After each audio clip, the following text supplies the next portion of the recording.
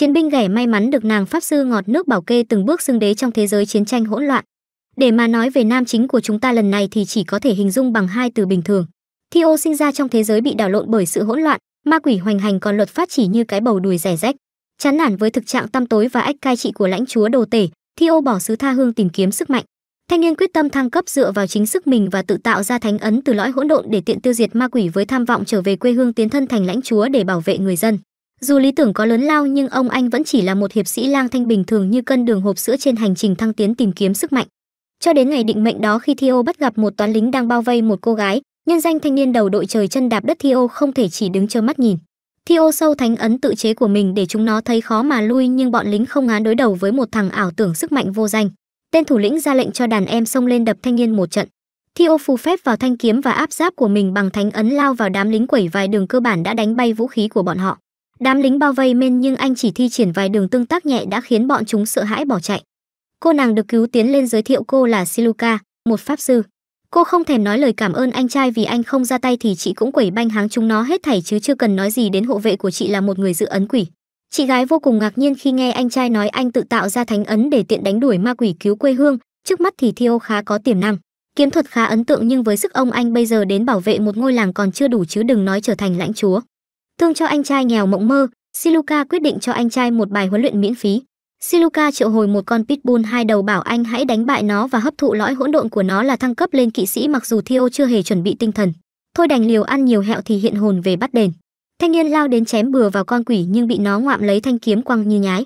Con quỷ bón hành ngập mồm Theo rồi lao đến kết liễu anh nhưng bằng sức mạnh của niềm tin và hy vọng Theo đã đâm trúng điểm yếu của con quỷ rồi run rẩy đứng dậy hấp thụ năng lượng hỗn độn từ bên trong nó trước khi lõi hỗn độn tan biến.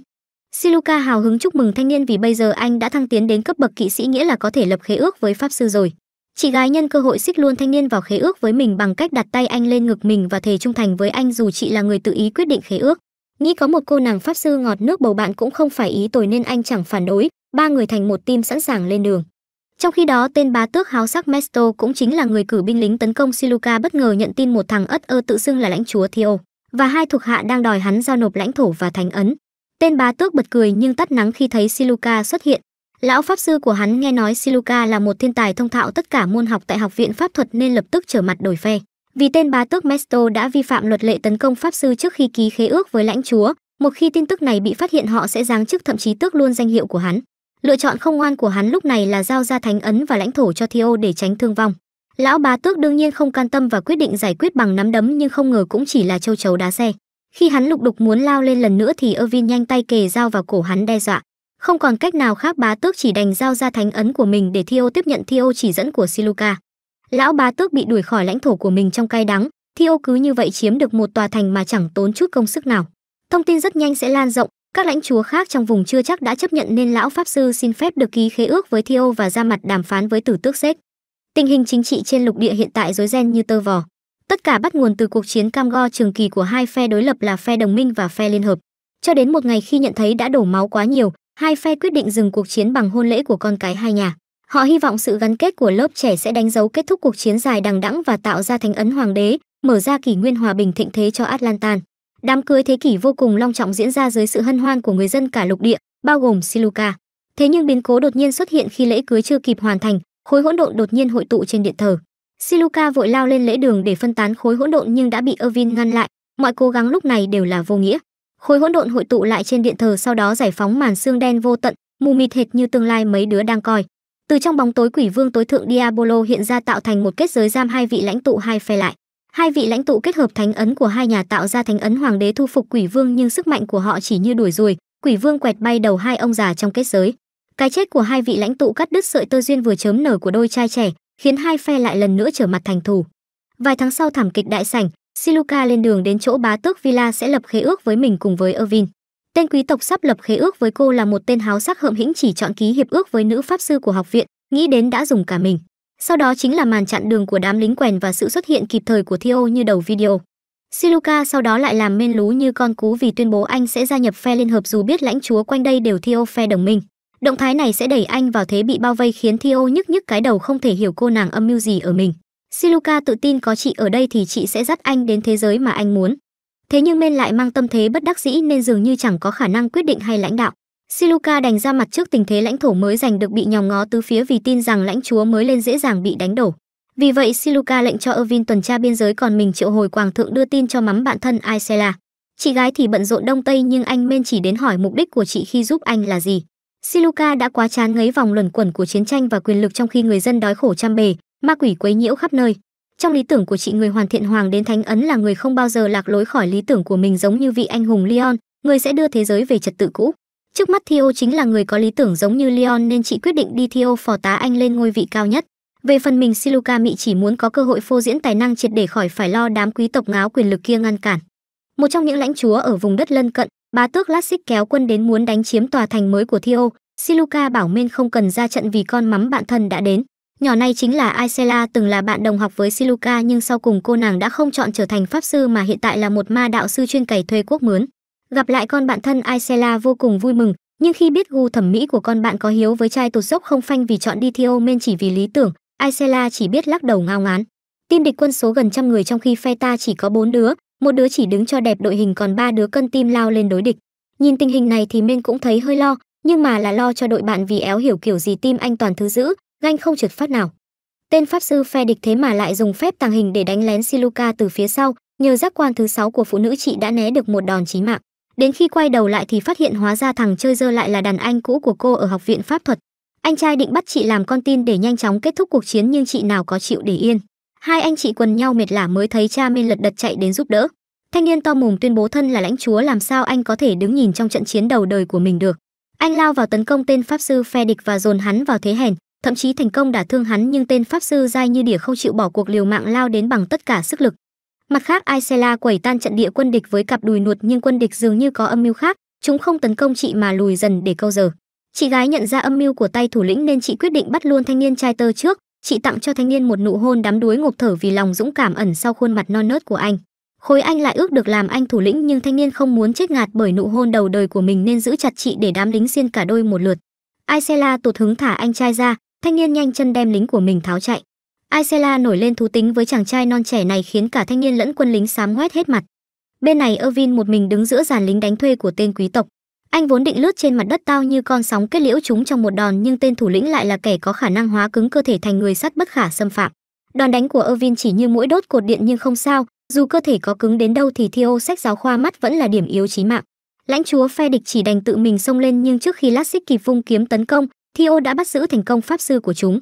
Cứ tưởng Lassic sẽ không chịu hàng chỉ vì pháp sư bị bắt nhưng hóa ra ông anh cũng là dạng có tình nghĩa. Sau khi thua cuộc Classic quyết định phục vụ Theo vì nhận ra tham vọng mở rộng lãnh thổ của mình sẽ được thực hiện nếu đi Theo một vị lãnh chúa như anh. Theo dù lưỡng lự nhưng cuối cùng chấp nhận Classic làm cấp dưới và tiếp nhận thánh ấn của ông anh thăng bậc lên nam tước, đổi lại anh cho ổng một cái thánh ấn cấp dưới. Đêm đến một nụ tu tự xưng là người của thánh ấn công đoàn tìm đến. Mối quan hệ như nước với lửa của pháp sư và giáo đoàn khiến Siluka ghét bỏ thậm chí không thèm mở cửa cho nữ tu sĩ. Theo lại nghe nói các tu sĩ thường chữa bệnh cho người gặp khó khăn nên anh muốn nghe họ nói trước thay vì cứ phũ phàng đuổi đi. Theo mở cửa dù chị bé Siluka chẳng vui vẻ gì cho cam, nữ tu sĩ tự giới thiệu tên là Priscilla đến để phò tá anh trong cuộc chiến chống lại hỗn độn. Sau đó nhờ có sự góp sức của Lassic và các thuộc hạ, cuộc chinh phạt của Theo đang tiến triển vô cùng thuận lợi. Lassic muốn thừa thắng xông lên mở rộng lãnh thổ nhưng Siluka lại cho rằng mục tiêu của Theo không phải thứ tầm thường như vậy. Anh muốn giải phóng quê hương của mình khỏi sự chuyên chế của giới quý tộc nên Siluka đã chuẩn bị sẵn kế hoạch cho anh, điều đầu tiên cần làm là đặt tên cho gia tộc của mình. Siluka đề nghị anh Theo họ Cognaro giống như một anh hùng nổi tiếng của quê anh, người rất được dân chúng ủng hộ nhưng lại bị bầy lũ quý tộc phản bội hại chết, danh xưng hậu duệ của ông ta sẽ gây được tiếng vang với quê hương của anh. Tiếp theo Siluka muốn anh rời bỏ phe liên hiệp gia nhập đồng minh nhưng lại vấp phải chỉ trích của vị pháp sư già vì cô đang lấn át quá đà làm dấy lên tin đồn Theo chỉ là bù nhìn. Siluka bấy giờ mới nhận ra mình đã vô tình chiếm spotlight của chủ nhân hơi nhiều, cô tìm đến phòng làm việc xin lỗi anh nhưng đột nhiên có thông báo xảy ra thảm họa hỗn độn trong thị trấn. Một lò rèn trong thị trấn đột nhiên bốc cháy dữ dội, Siluka tiếp nhận chữa trị cho người bị thương còn Theo lo công tác dập lửa. Đột nhiên Siluka thấy lạnh hết sống lưng hệt như cảm giác quỷ vương xuất hiện vào ngày thảm kịch đại sảnh diễn ra. Quả không sai, một con quỷ lửa hiện ra từ đám cháy. Theo liều lĩnh lao vào mù quáng nhưng con quỷ miễn nhiễm hoàn toàn với đòn tấn công vật lý làm anh trai chấn kinh. Siluka nhờ aisela đánh lạc hướng con quỷ để mình dùng nước tấn công nó. Chị đến cạnh giếng triệu hồi nước trong giếng bắn vào con quỷ như súng thần công nhưng nó mạnh mẽ phản đòn nước lửa đánh nhau lẽ đương nhiên là nước thắng nhưng không ngờ con quỷ còn đòn hiểm hơn nó tự bạo khiến áp suất từ vụ nổ thổi tung mọi thứ siluka tưởng quả này chào thân ái rồi nhưng lại được theo chạy đến bảo vệ Khi tỉnh dậy đã là trưa ngày hôm sau với con bạn thân Sam trổ ngồi cạnh. Siluka vội chạy đi tìm Theo đang giải quyết tồn động của vụ nổ, chị chua xót phát hiện vết thương của anh còn nghiêm trọng hơn mình rất nhiều. Siluka sơ cứu cho chủ nhân và cảm ơn anh vì đã ra tay cứu chị, cũng nhân cơ hội xin lỗi anh vì đã vô tình áp đặt ý kiến của mình lên anh mà không tôn trọng mong muốn của anh. Thế nhưng Theo vô cùng biết ơn Siluka vì nhờ có chỉ dẫn của chị mà một tay gà mờ như anh mới biết mình nên làm gì tiếp Theo. Không lâu sau đó vua Savis tuyên chiến với Theo vì muốn ngăn chặn lực lượng ngày càng lớn mạnh của anh. Trước tình hình này, Theo chỉ có thể tập hợp sức mạnh của quý tộc trong vùng đứng lên dưới ngọn cờ của mình, nhưng chiến tranh đã gần kề mà vẫn không một ai phản hồi. Chỉ có những đồng minh cũ vẫn bám trụ cùng anh. Khoảnh khắc họ đang lo lắng thì bất ngờ những người dân trong thị trấn được anh cứu khỏi quỷ lửa kéo đến để đền ơn cứu mạng. Cuộc chiến sẽ rất cam go nên anh không muốn kéo người dân vào cuộc nhưng Siluka khuyên anh nên tôn trọng ý kiến của người dân. Sau cùng Theo bất đắc dĩ đồng ý, anh dùng thánh ấn tạo ra một lá cờ ái quốc và kêu gọi mọi người hãy cùng anh tác chiến.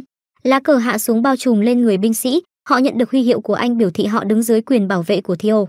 Hôm sau cuộc chiến khốc liệt nổ ra, về phía Theo dù quân số không bằng phe địch nhưng với chiến thuật khéo léo và sự anh dũng của người chỉ huy họ rất nhanh phá tan trận địa quân địch dồn dép khu vực trung tâm.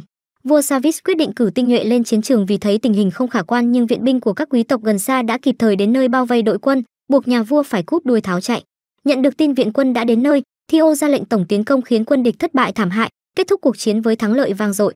Sau trận chiến Siluka đến diện kiến Marin, người đứng đầu phe đồng minh để bày tỏ mong muốn gia nhập phe đồng minh của Theo. Cô dâu bất hạnh trong đám cưới thế kỷ năm đó đã trở thành lãnh chúa, cô hứa sẽ xem xét đề nghị gia nhập của Siluka. Marin tin rằng có Siluka và Theo về phe mình thì đồng minh sẽ mạnh lên đáng kể nhưng pháp sư của cô cũng chính là cha nuôi của Siluka khuyên cô nên suy nghĩ lại. Vì chấp nhận một lãnh chúa đã có lãnh thổ đổi phe sẽ khiến những người khác có suy nghĩ tương tự. Nếu không chấp nhận họ đồng nghĩa với việc phải trinh phạt Theo và Siluka cũng phải chịu chung số phận với lãnh chúa của mình. Anbeck chấp nhận vì nghĩa quên thân. Họ thông báo với Siluka yêu cầu gia nhập phe đồng minh đã bị từ chối đồng thời yêu cầu Theo từ bỏ tước vị rời khỏi lãnh thổ nếu không muốn chiến tranh. Siluka bàng hoàng trước sự lạnh nhạt của cha nuôi, cô đứng dậy dõng dạc tuyên bố lần tới gặp lại nhau sẽ là trên chiến trường. Phe đồng minh không được họ chỉ đành chuyển kế hoạch gia nhập phe liên hiệp, Siluka đến gặp Villa. Bá tước quyền lực của phe liên hiệp để đàm phán nhưng Villa không chịu gặp cô vì hắn chính là tên bá tước dâm dục mà cô từ chối lập khế ước cùng trước đó. Villa nhớ pháp sư của mình truyền đạt lại ý định không chấp nhận Theo gia nhập phe liên hợp vì không thấy anh có chút giá trị nào. Siluka trở về tay không, họ buộc phải lên kế hoạch chống đỡ vì vua Savis và quân của phe đồng minh sẽ tấn công họ với lực lượng nhiều hơn gấp 5 lần quân số họ có. Dù thế cục không mấy khả quan, dù có tỷ lệ thua cuộc rất cao nhưng Theo quyết tâm sát cánh đến cùng với mọi người. Rất nhanh sau đó phe địch đã ùn ùn kéo quân đến tòa thành, Aisela chỉ huy tiễn thủ từ trên tường thành bắn tên nhưng áo giáp của quân địch quá bá đạo nên không vần gì. Lính phe địch dùng nỏ plasma bắn đổ tường thành, Aisela lao lên đánh giáp lá cả với phe địch để đột phá thế trận của chúng. Dù rất xuất sắc phá trận địch nhưng Aisela không thể thành công dẫn quân địch đến cõi niết bàn như chị tuyên bố mà thay vào đó dính đạn khiến tính mạng chị đứng trên bờ vong xuyên. Siluka vội vàng chạy đến nhưng hoàn toàn bất lực, ngay trước khi mắm bạn thân chút hơi thở cuối cùng thì Priscilla xuất hiện giành lại cô từ tay thần chết.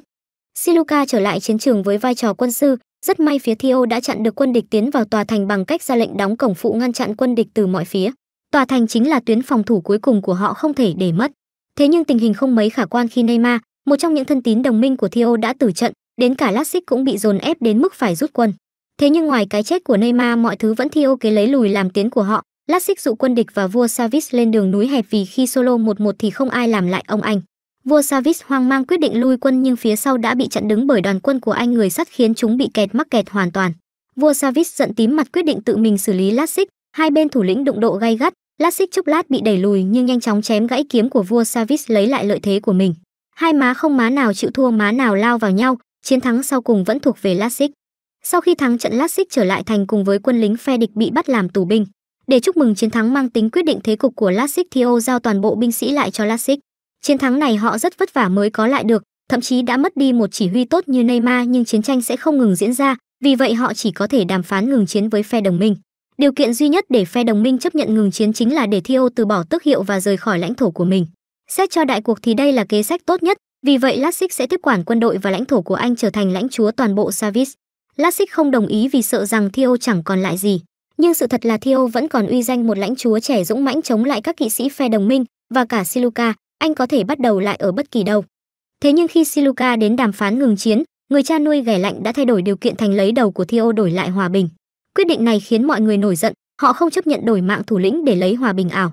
Lúc này phe đồng minh đã có cuộc họp khẩn, các lãnh chúa không chấp thuận kết thúc chiến tranh trong hòa bình kể cả trả giá bằng mạng sống của Theo mà nhất quyết muốn đánh bại anh và quân đội của anh trên chiến trường để cứu vớt thể diện sau hai lần thua thảm hại của vua Savis.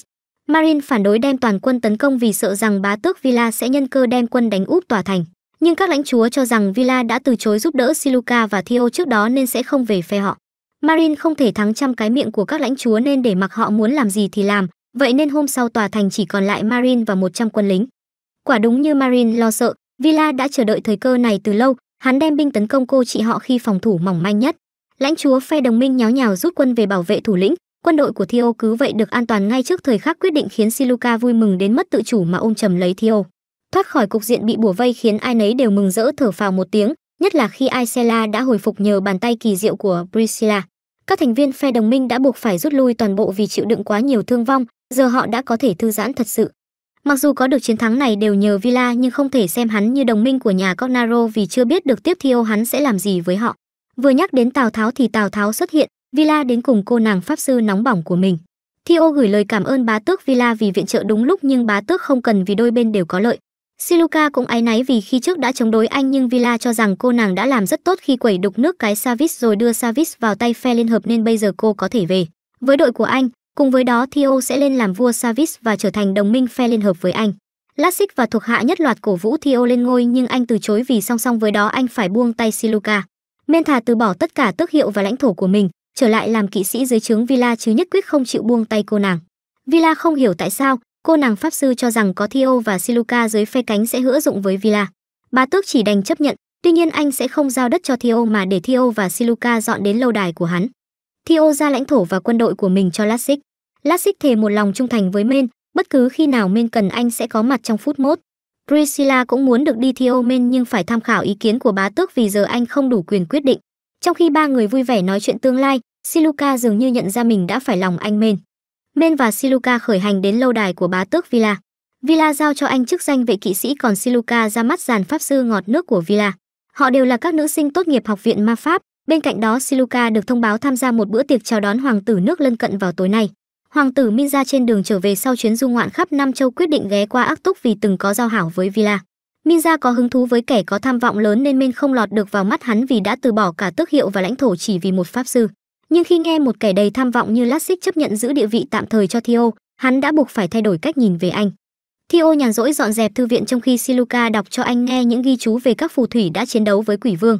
Cô giải thích khác với các pháp sư, những phù thủy có liên kết với quỷ dữ được gọi là hắc phù thủy, ngược lại cũng có bạch phù thủy, những người giữ mình không dây dưa đến quỷ giới. Bên cạnh đó những người chiến đấu với các quỷ vương ngày đó còn có các nghệ nhân, nổi bật trong số họ là ma cà rồng bất tử và người sói với khả năng tái tạo. Nghe về lịch sử hào hùng của Ác Túc, Theo bất giác nhớ tới người dân tội nghiệp yếu đuối của quê hương mình, Siluka an ủi anh chắc chắn sẽ có ngày anh đánh đuổi quỷ giữ cứu lấy người dân quê mình. Đột nhiên Villa triệu tập hai người và giới thiệu họ với gelma trưởng lão của các bạch phù thủy. Villa lệnh cho hai đứa đến khu rừng bóng tối vĩnh cửu điều tra vụ người sói lũ lượt kéo đến đó mà không có hồi âm nào về cho bạch phù thủy. Thông thường thì khu rừng đó là lãnh địa của ma cà rồng, Zelma lần này có dự cảm không lành về mối quan hệ của tộc người sói và ma cà rồng. Họ khởi hành đến khu rừng nhưng lại gặp một đám người sói không chịu hợp tác ngoài bìa rừng. Đột nhiên một con rơi nói tiếng người còn sõi hơn du học sinh quên tiếng mẹ đẻ đến mời Theo, khách của hấp huyết vương đi Theo nó đến gặp nhà vua. Đám người sói gầm gừ nhe nanh khi nghe đến tên vua ma cà rồng và đòi hắn thả mẫu thân và em gái của họ ra. Con rơi phớt lờ họ bay đi, Mendy Theo sau nó và anh hứa trên danh dự của bá tước sẽ giúp giải quyết mọi chuyện. Khi đến lâu đài, hấp huyết vương Dimitri cho biết nữ vương lang nhân đã bị hắc phù thủy Iana bắt đi. Đây không phải là ý của hắn nhưng hắn cũng không có ý định can thiệp vào thủ oán của họ, thậm chí tuyên bố từ giờ sẽ không còn là đồng minh của người sói hay quý tộc nữa. Chừng nào thánh ấn còn tồn tại thì các lãnh chúa đều là kẻ thù của hắn, mục đích của bọn hắn là đem thế giới trở về thời kỳ tối hậu hỗn nguyên. Nếu các quý tộc bắt tay với nhau tạo ra hoàng đế thánh ấn, hỗn độn sẽ bị tiêu diệt hoàn toàn và các nghệ nhân như bọn hắn sẽ vĩnh viễn mất đi sức mạnh. Hắn sẽ trở về như người bình thường, sẽ già đi và chết mà hắn thì sợ chết hơn sợ mẹ. Siluka nghi ngờ hắn chính là người đã tạo ra thảm kịch đại sảnh năm nó nhưng lời cô nói khiến hắn đột nhiên lộ ra ánh mắt sắc lạnh. Theo rút kiếm sẵn sàng nghênh chiến nhưng hấp huyết vương không có ý định đánh nhau, hắn rời đi và tiết lộ nữ vương người sói đang ở trong hầm rượu. Theo và Siluka chạy đến nơi nữ vương người sói đang chiến đấu với Iana vì để bảo vệ tính mạng hai cô con gái. Hắc phù thủy muốn giết nữ vương để dùng lõi hỗn độn của bà triệu hồi quỷ vương, ngay khi mụ chuẩn bị đạt được mục đích thì Men đã kịp thời tới nơi ngăn chặn. Iana há hốc mồm khi biết hấp huyết vương lại sách đít chạy trốn một mình. Nhưng dù sao con nhỏ còn non với thanh niên kỵ sĩ quèn không phải đối thủ của mụ, Iana cử hai tên quỷ đến đối phó họ. Siluka có chống trả nhưng không đáng kể khiến Men phải nhanh chóng kết thúc con quỷ đang tấn công mình và chạy đến làm lá chắn cho cô nàng. Iana thấy vậy nạp vip cho cây chổi sể của mình rồi phóng nó đi như tên lửa hạt nhân bắn về phía Theo. Siluka triệu hồi lá chắn cho Theo nhưng cái hàng rào mỏng manh như tàu lá chuối nhanh chóng bị xiên thủng, cây chổi lao đến đẩy lùi men 300 mét. Theo kích hoạt thánh ấn và dùng phép lên thanh kiếm gạt bay cây chổi của mụ phù thủy khiến nó đâm lên mái nhà. Nữ vương người sói nhân cơ hội biến hình tấn công mụ Iana nhưng thực chất chỉ là kế điệu hổ ly sơn để giải thoát cho hai đứa con gái đang bị bó giò trên không trung. Iana triệu hồi dây leo, còn bồi thêm hai con quỷ đến tấn công mẹ con nhà sói nhưng cũng thất thủ trước uy danh nữ vương người sói, thấy tình thế bị đảo ngược Iana vội cưỡi chổi chạy trốn. Mụ tấn công nữ hoàng từ trên không nhưng vẫn bị cào một dài trên cái đùi nuột đáng tự hào. Theo kịp thời đỡ được nữ hoàng đang rơi xuống. Hai đứa con gái đồng loạt biến hình đuổi Theo mụ Iana nhưng mụ chạy quá nhanh, thoát khỏi đòn đánh của Siluka rồi tẩu thoát qua đường mái nhà bị lủng. Hai đứa con gái sau đó vội chạy đến bên nữ vương nhưng lúc này nữ vương đã không còn chút sức lực để hồi phục. Bà nhờ Men dẫn hai cô con gái ra khỏi rừng rồi chút hơi thở cuối cùng. Men thực hiện đúng lời hứa với bà đưa hai đứa em gái và linh hồn nữ vương về với tộc người sói. Họ tổ chức tang lễ cho nữ vương Clara đáng kính, cơ thể bà phân tán thành lõi hỗn độn chia cho các đứa con của mình. Thủ lĩnh mới của tộc người sói cảm ơn Men vì đã mang hai đứa em báo thủ và linh hồn mẫu thân về với họ, họ hứa sẽ trở thành đồng minh trung thành của anh. Chuyến này không chỉ thu về đồng minh là phe người sói mà còn được tiếp quản rừng bóng tối vĩnh cửu. Theo nhận ra anh vẫn là kỵ sĩ quèn khi đối mặt với kẻ thù mạnh cỡ Iana nên tự dặn mình phải cố gắng trở nên mạnh mẽ hơn bằng mọi giá. Siluka hứa sẽ luôn giúp đỡ anh cùng tiến bộ, hai chị em người sói cũng vậy, họ giờ đây đã trở thành người giúp việc của mình. Ngay sau đó, Villa nhận được lời mời tham dự cuộc họp thường niên của lãnh chúa phe liên hợp. Dù không muốn đi nhưng đã 6 tháng kể từ thảm kịch đại sảnh mới có nổi một cuộc họp nên không còn cách nào khác. Sau hành động tiếp ứng cho Men ở Savis Villa cũng đã nhận được rất nhiều lời ca tụng, nhưng người đứng đầu phe liên hợp, ngài Alexis cũng là chồng suýt cưới của Marin hẳn là không thích giao ước với đồng minh.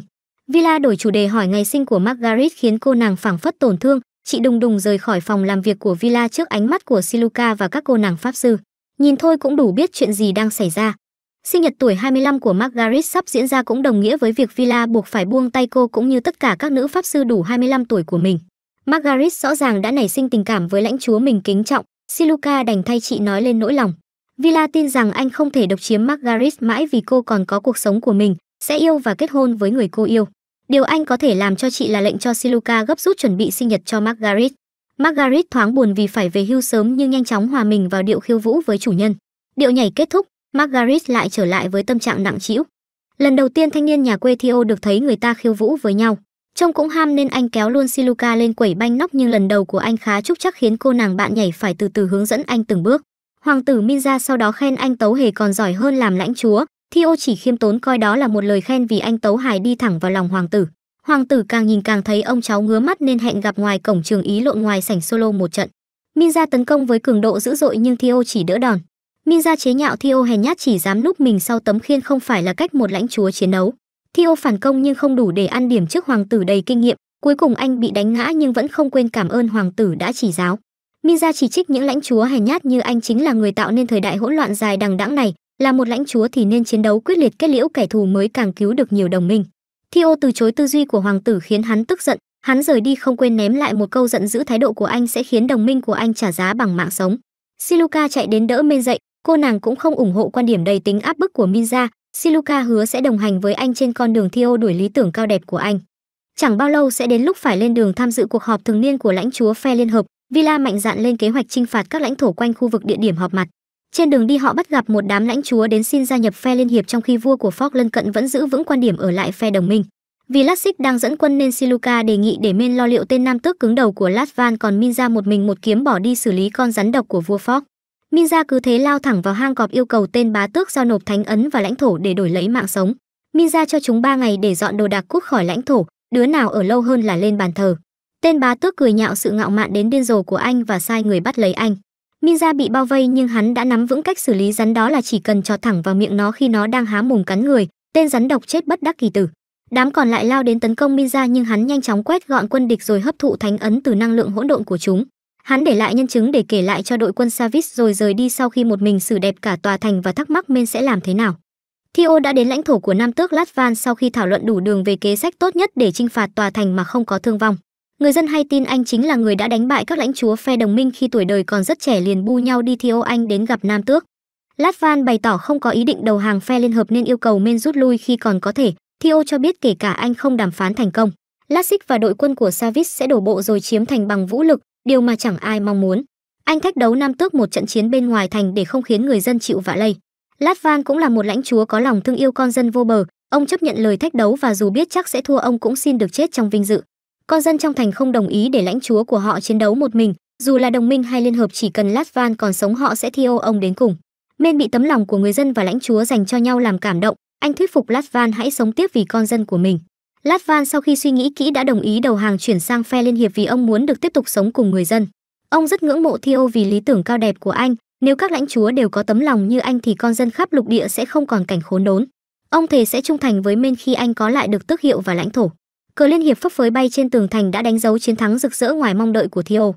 Mặt khác trên chiến trường Lassig cũng đã toàn thắng trước vua Fox, Villa mừng rỡ vì kế hoạch thuận lợi mà không có nhiều thương vong. Công đầu thuộc về Minza với máu liều nhiều hơn máu não và Theo với cái mồm vô địch thiên hạ. Họ tới cuộc họp thường niên của lãnh chúa liên hợp, nơi Theo cảm thấy mình như vịt giữa bầy thiên nga. Thái độ của các lãnh chúa với Villa cũng không đồng nhất, một số niềm nở chào đón anh vì giúp gia tăng lực lượng cho liên hợp, một số cho rằng động thái của anh gây hại đến hòa bình cả lục địa. Ngài Alexis, người đứng đầu phe liên hợp cũng chính là chú rể của thảm kịch đại sảnh xuất hiện với hào quang của bạch mã hoàng tử phóng đổ trái tim của các chị đẹp trong đại sảnh chỉ với việc đứng yên và thở.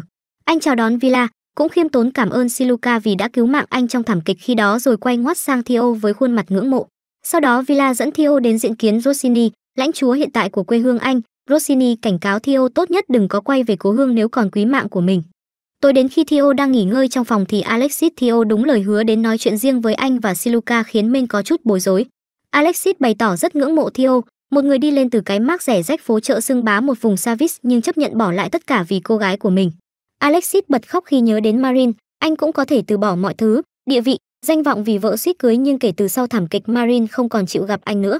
Mong ước của anh chưa bao giờ là chiến tranh, anh muốn các lãnh chúa đoàn kết tạo ra hoàng đế thánh ấn xua đuổi hỗn độn một lần và mãi mãi, trả lại bình yên cho lục địa. Trước tấm lòng thành của chàng hoàng tử lụy tình, Theo vô cùng cảm động, anh hứa sẽ giúp Alexis thực hiện ước mơ và đoàn tụ với Marin. Alexis cảm ơn anh và chúc anh cũng được hạnh phúc bên Siluka rồi rời đi.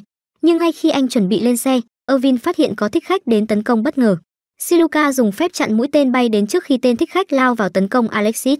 Cặp song sinh người sói cũng biến hình đánh đuổi đám thích khách trong khi Theo và những người bảo vệ khác cũng cầm chân chúng. Tên thích khách ngã xuống, theo nhận ra dấu ấn sai bảo của Rossini trên đầu hắn, một khi có dấu ấn này kẻ bị điều khiển không khác gì một con rối. Theo nhận ra mục tiêu không phải là Alexis mà là anh, tên lãnh chúa Rossini hiểm độc muốn chặn đường sống của Theo. Siluka suýt chút nữa bị kẻ thù xiên trúng, may sao quảng thượng trong túi nhảy ra cứu cô một mạng. Siluka trách Irvin lúc cần thì chẳng thấy đâu nhưng anh cho biết ban nãy anh đã xử lý xạ thủ đã nhắm đến hai người, trong đó có cả tên sát thủ xa đâu đã cản đường anh nhưng hắn đã kịp trốn thoát. Alexis hiểu lầm vụ ám sát nhằm vào mình nên vô cùng tự trách nhưng Theo đã biết mình mới là mục tiêu của đám thích khách. Lần này Rossini chỉ có nước bốc cớt ăn vã vì đã lôi Alexis vào cuộc, nhẹ nhất hắn cũng sẽ bị đuổi khỏi liên hợp và khi đó thời cơ của họ sẽ đến. Hôm sau Men đến gặp Villa báo cáo về vụ ám sát đêm qua và cả việc Alexis vẫn yêu Marin. Villa vui mừng kể cho họ nghe câu chuyện tình lãng mạn của Alexis và Marin. Họ gặp nhau khi đang còn đi học tại học viện Iramu. Lúc này Alexis đang mải chơi đá à nhầm ngắm đá lát đường thì đột nhiên gặp được Marin, khoảnh khắc chạm mắt nhau Alexis đã biết thế nào là tình yêu xét đánh. Anh gửi thư spam liên tục đến cho Marin, còn thiết kế cả một vườn hoa hồng tuyệt đẹp trong sân nhà cô. Sau đó Marin mới bắt đầu chú ý tới anh. Cô đến vũ hội hóa trang để cảm ơn anh nhưng lại bị một thằng ất ơ chọc gạo. Tên dâm dê không ăn được thì đâm ra cáu bản muốn ra tay nhưng Alexis đã xuất hiện, tưởng thế nào anh trai bị đấm vỡ mặt nạ ngay sau đó. Marin cảm động trước nghĩa cử dù không đáng kể của anh nhưng hai người thuộc hai phe đối lập nhau, một ngày nào đó sẽ trở thành kẻ thù. Biết không có cách nào để ở bên nhau hai người trao nhau nụ hôn đầu của mình trước khi rời khỏi đời nhau mãi mãi. Marin rơi vào thất tình, người hầu không nỡ nhìn cô buồn khổ nên đưa cô đến nơi Alexis đang chơi đùa với đám trẻ cơ nhỡ. Marin nhận ra tình yêu của mình có thể lớn hơn thù hận giữa hai gia đình, cô quyết tâm bằng mọi giá phải đến bên cạnh anh. Thân là người ngoài cuộc villa cũng không khỏi cảm động, anh ủng hộ cuộc hôn nhân của đôi bạn trẻ. Ngay sau đó hội nghị liên hợp thường niên đã diễn ra, ngay đầu tiên họ tuyên bố trục xuất Rossini khỏi liên hợp. Ngay sau đó cả lãnh chúa lên án hành vi gây chiến của Villa vì đã làm giảm khả năng hòa hoãn với đồng minh. Men đứng ra giải thích mục đích không phải gây chiến với đồng minh mà để đánh đuổi tên lãnh chúa đã vi phạm tước bậc lấy lại lãnh thổ. Lý do hợp tình hợp lý khiến không ai phản đối được, quyết định đối đầu với phe đồng minh bằng vũ lực đã được thông qua. Alexis phát biểu trước toàn hội nghị rằng anh tiếp quản vị trí thủ lĩnh phe liên hợp chỉ vì được truyền lại từ cha mình. Anh tin rằng hiện tại phe liên hợp cần một lãnh đạo tương xứng với vai trò này hơn một người nhu nhược như anh và đề cử Villa làm người kế nhiệm vì những thành tựu quân sự mà anh đã đạt được. Villa ngoài ý muốn từ chối tiếp quản vị trí này vì anh không muốn chiến đấu đến một mất một còn với cô chị họ Marin. Lợi dụng thời cơ này, phe cánh của hầu tước Jalusia đứng lên đề cử ông ta vào vị trí lãnh đạo và ngay lập tức đề nghị hòa ước với phe đồng minh. Hầu hết lãnh chúa không phản đối ý kiến này, chỉ có Alexis biết âm mưu của Jalisius là liên hôn với Marin để đổi lấy hòa bình. Điều kiện hòa nghị được gửi đến Marin dưới danh nghĩa ý kiến của Alexis khiến Marin thất vọng, cô không chấp nhận và lệnh cho Albert chuẩn bị chiến tranh. Dù vẫn còn yêu Alexis rất nhiều nhưng không còn cách nào cứu vãn cuộc tình của hai đứa, Marin không thể không nói lời tạm biệt với người thương. Ngay sau đó lãnh chúa vùng trung lập vội vàng chạy tới cầu cứu Villa vì quân đội của Marin đã tiến đến biên giới của họ và có thể tấn công bất cứ lúc nào. Minza và Siluka cho rằng Villa nên xuất quân vì tồn vong của lãnh thổ Ác Túc nhưng Villa phản đối vì không muốn đi ngược lại hiệp ước đồng minh. Villa không hài lòng trước sự cố chấp của Siluka nên đuổi cô nàng và Theo về lãnh thổ của họ trong rừng bóng tối vĩnh cửu. Trở lại khu rừng, tâm trạng Siluka vẫn u ám vì Villa cố chấp phớt lờ ý kiến của cô nàng dù sớm hay muộn họ cũng phải đối đầu với chiến tranh.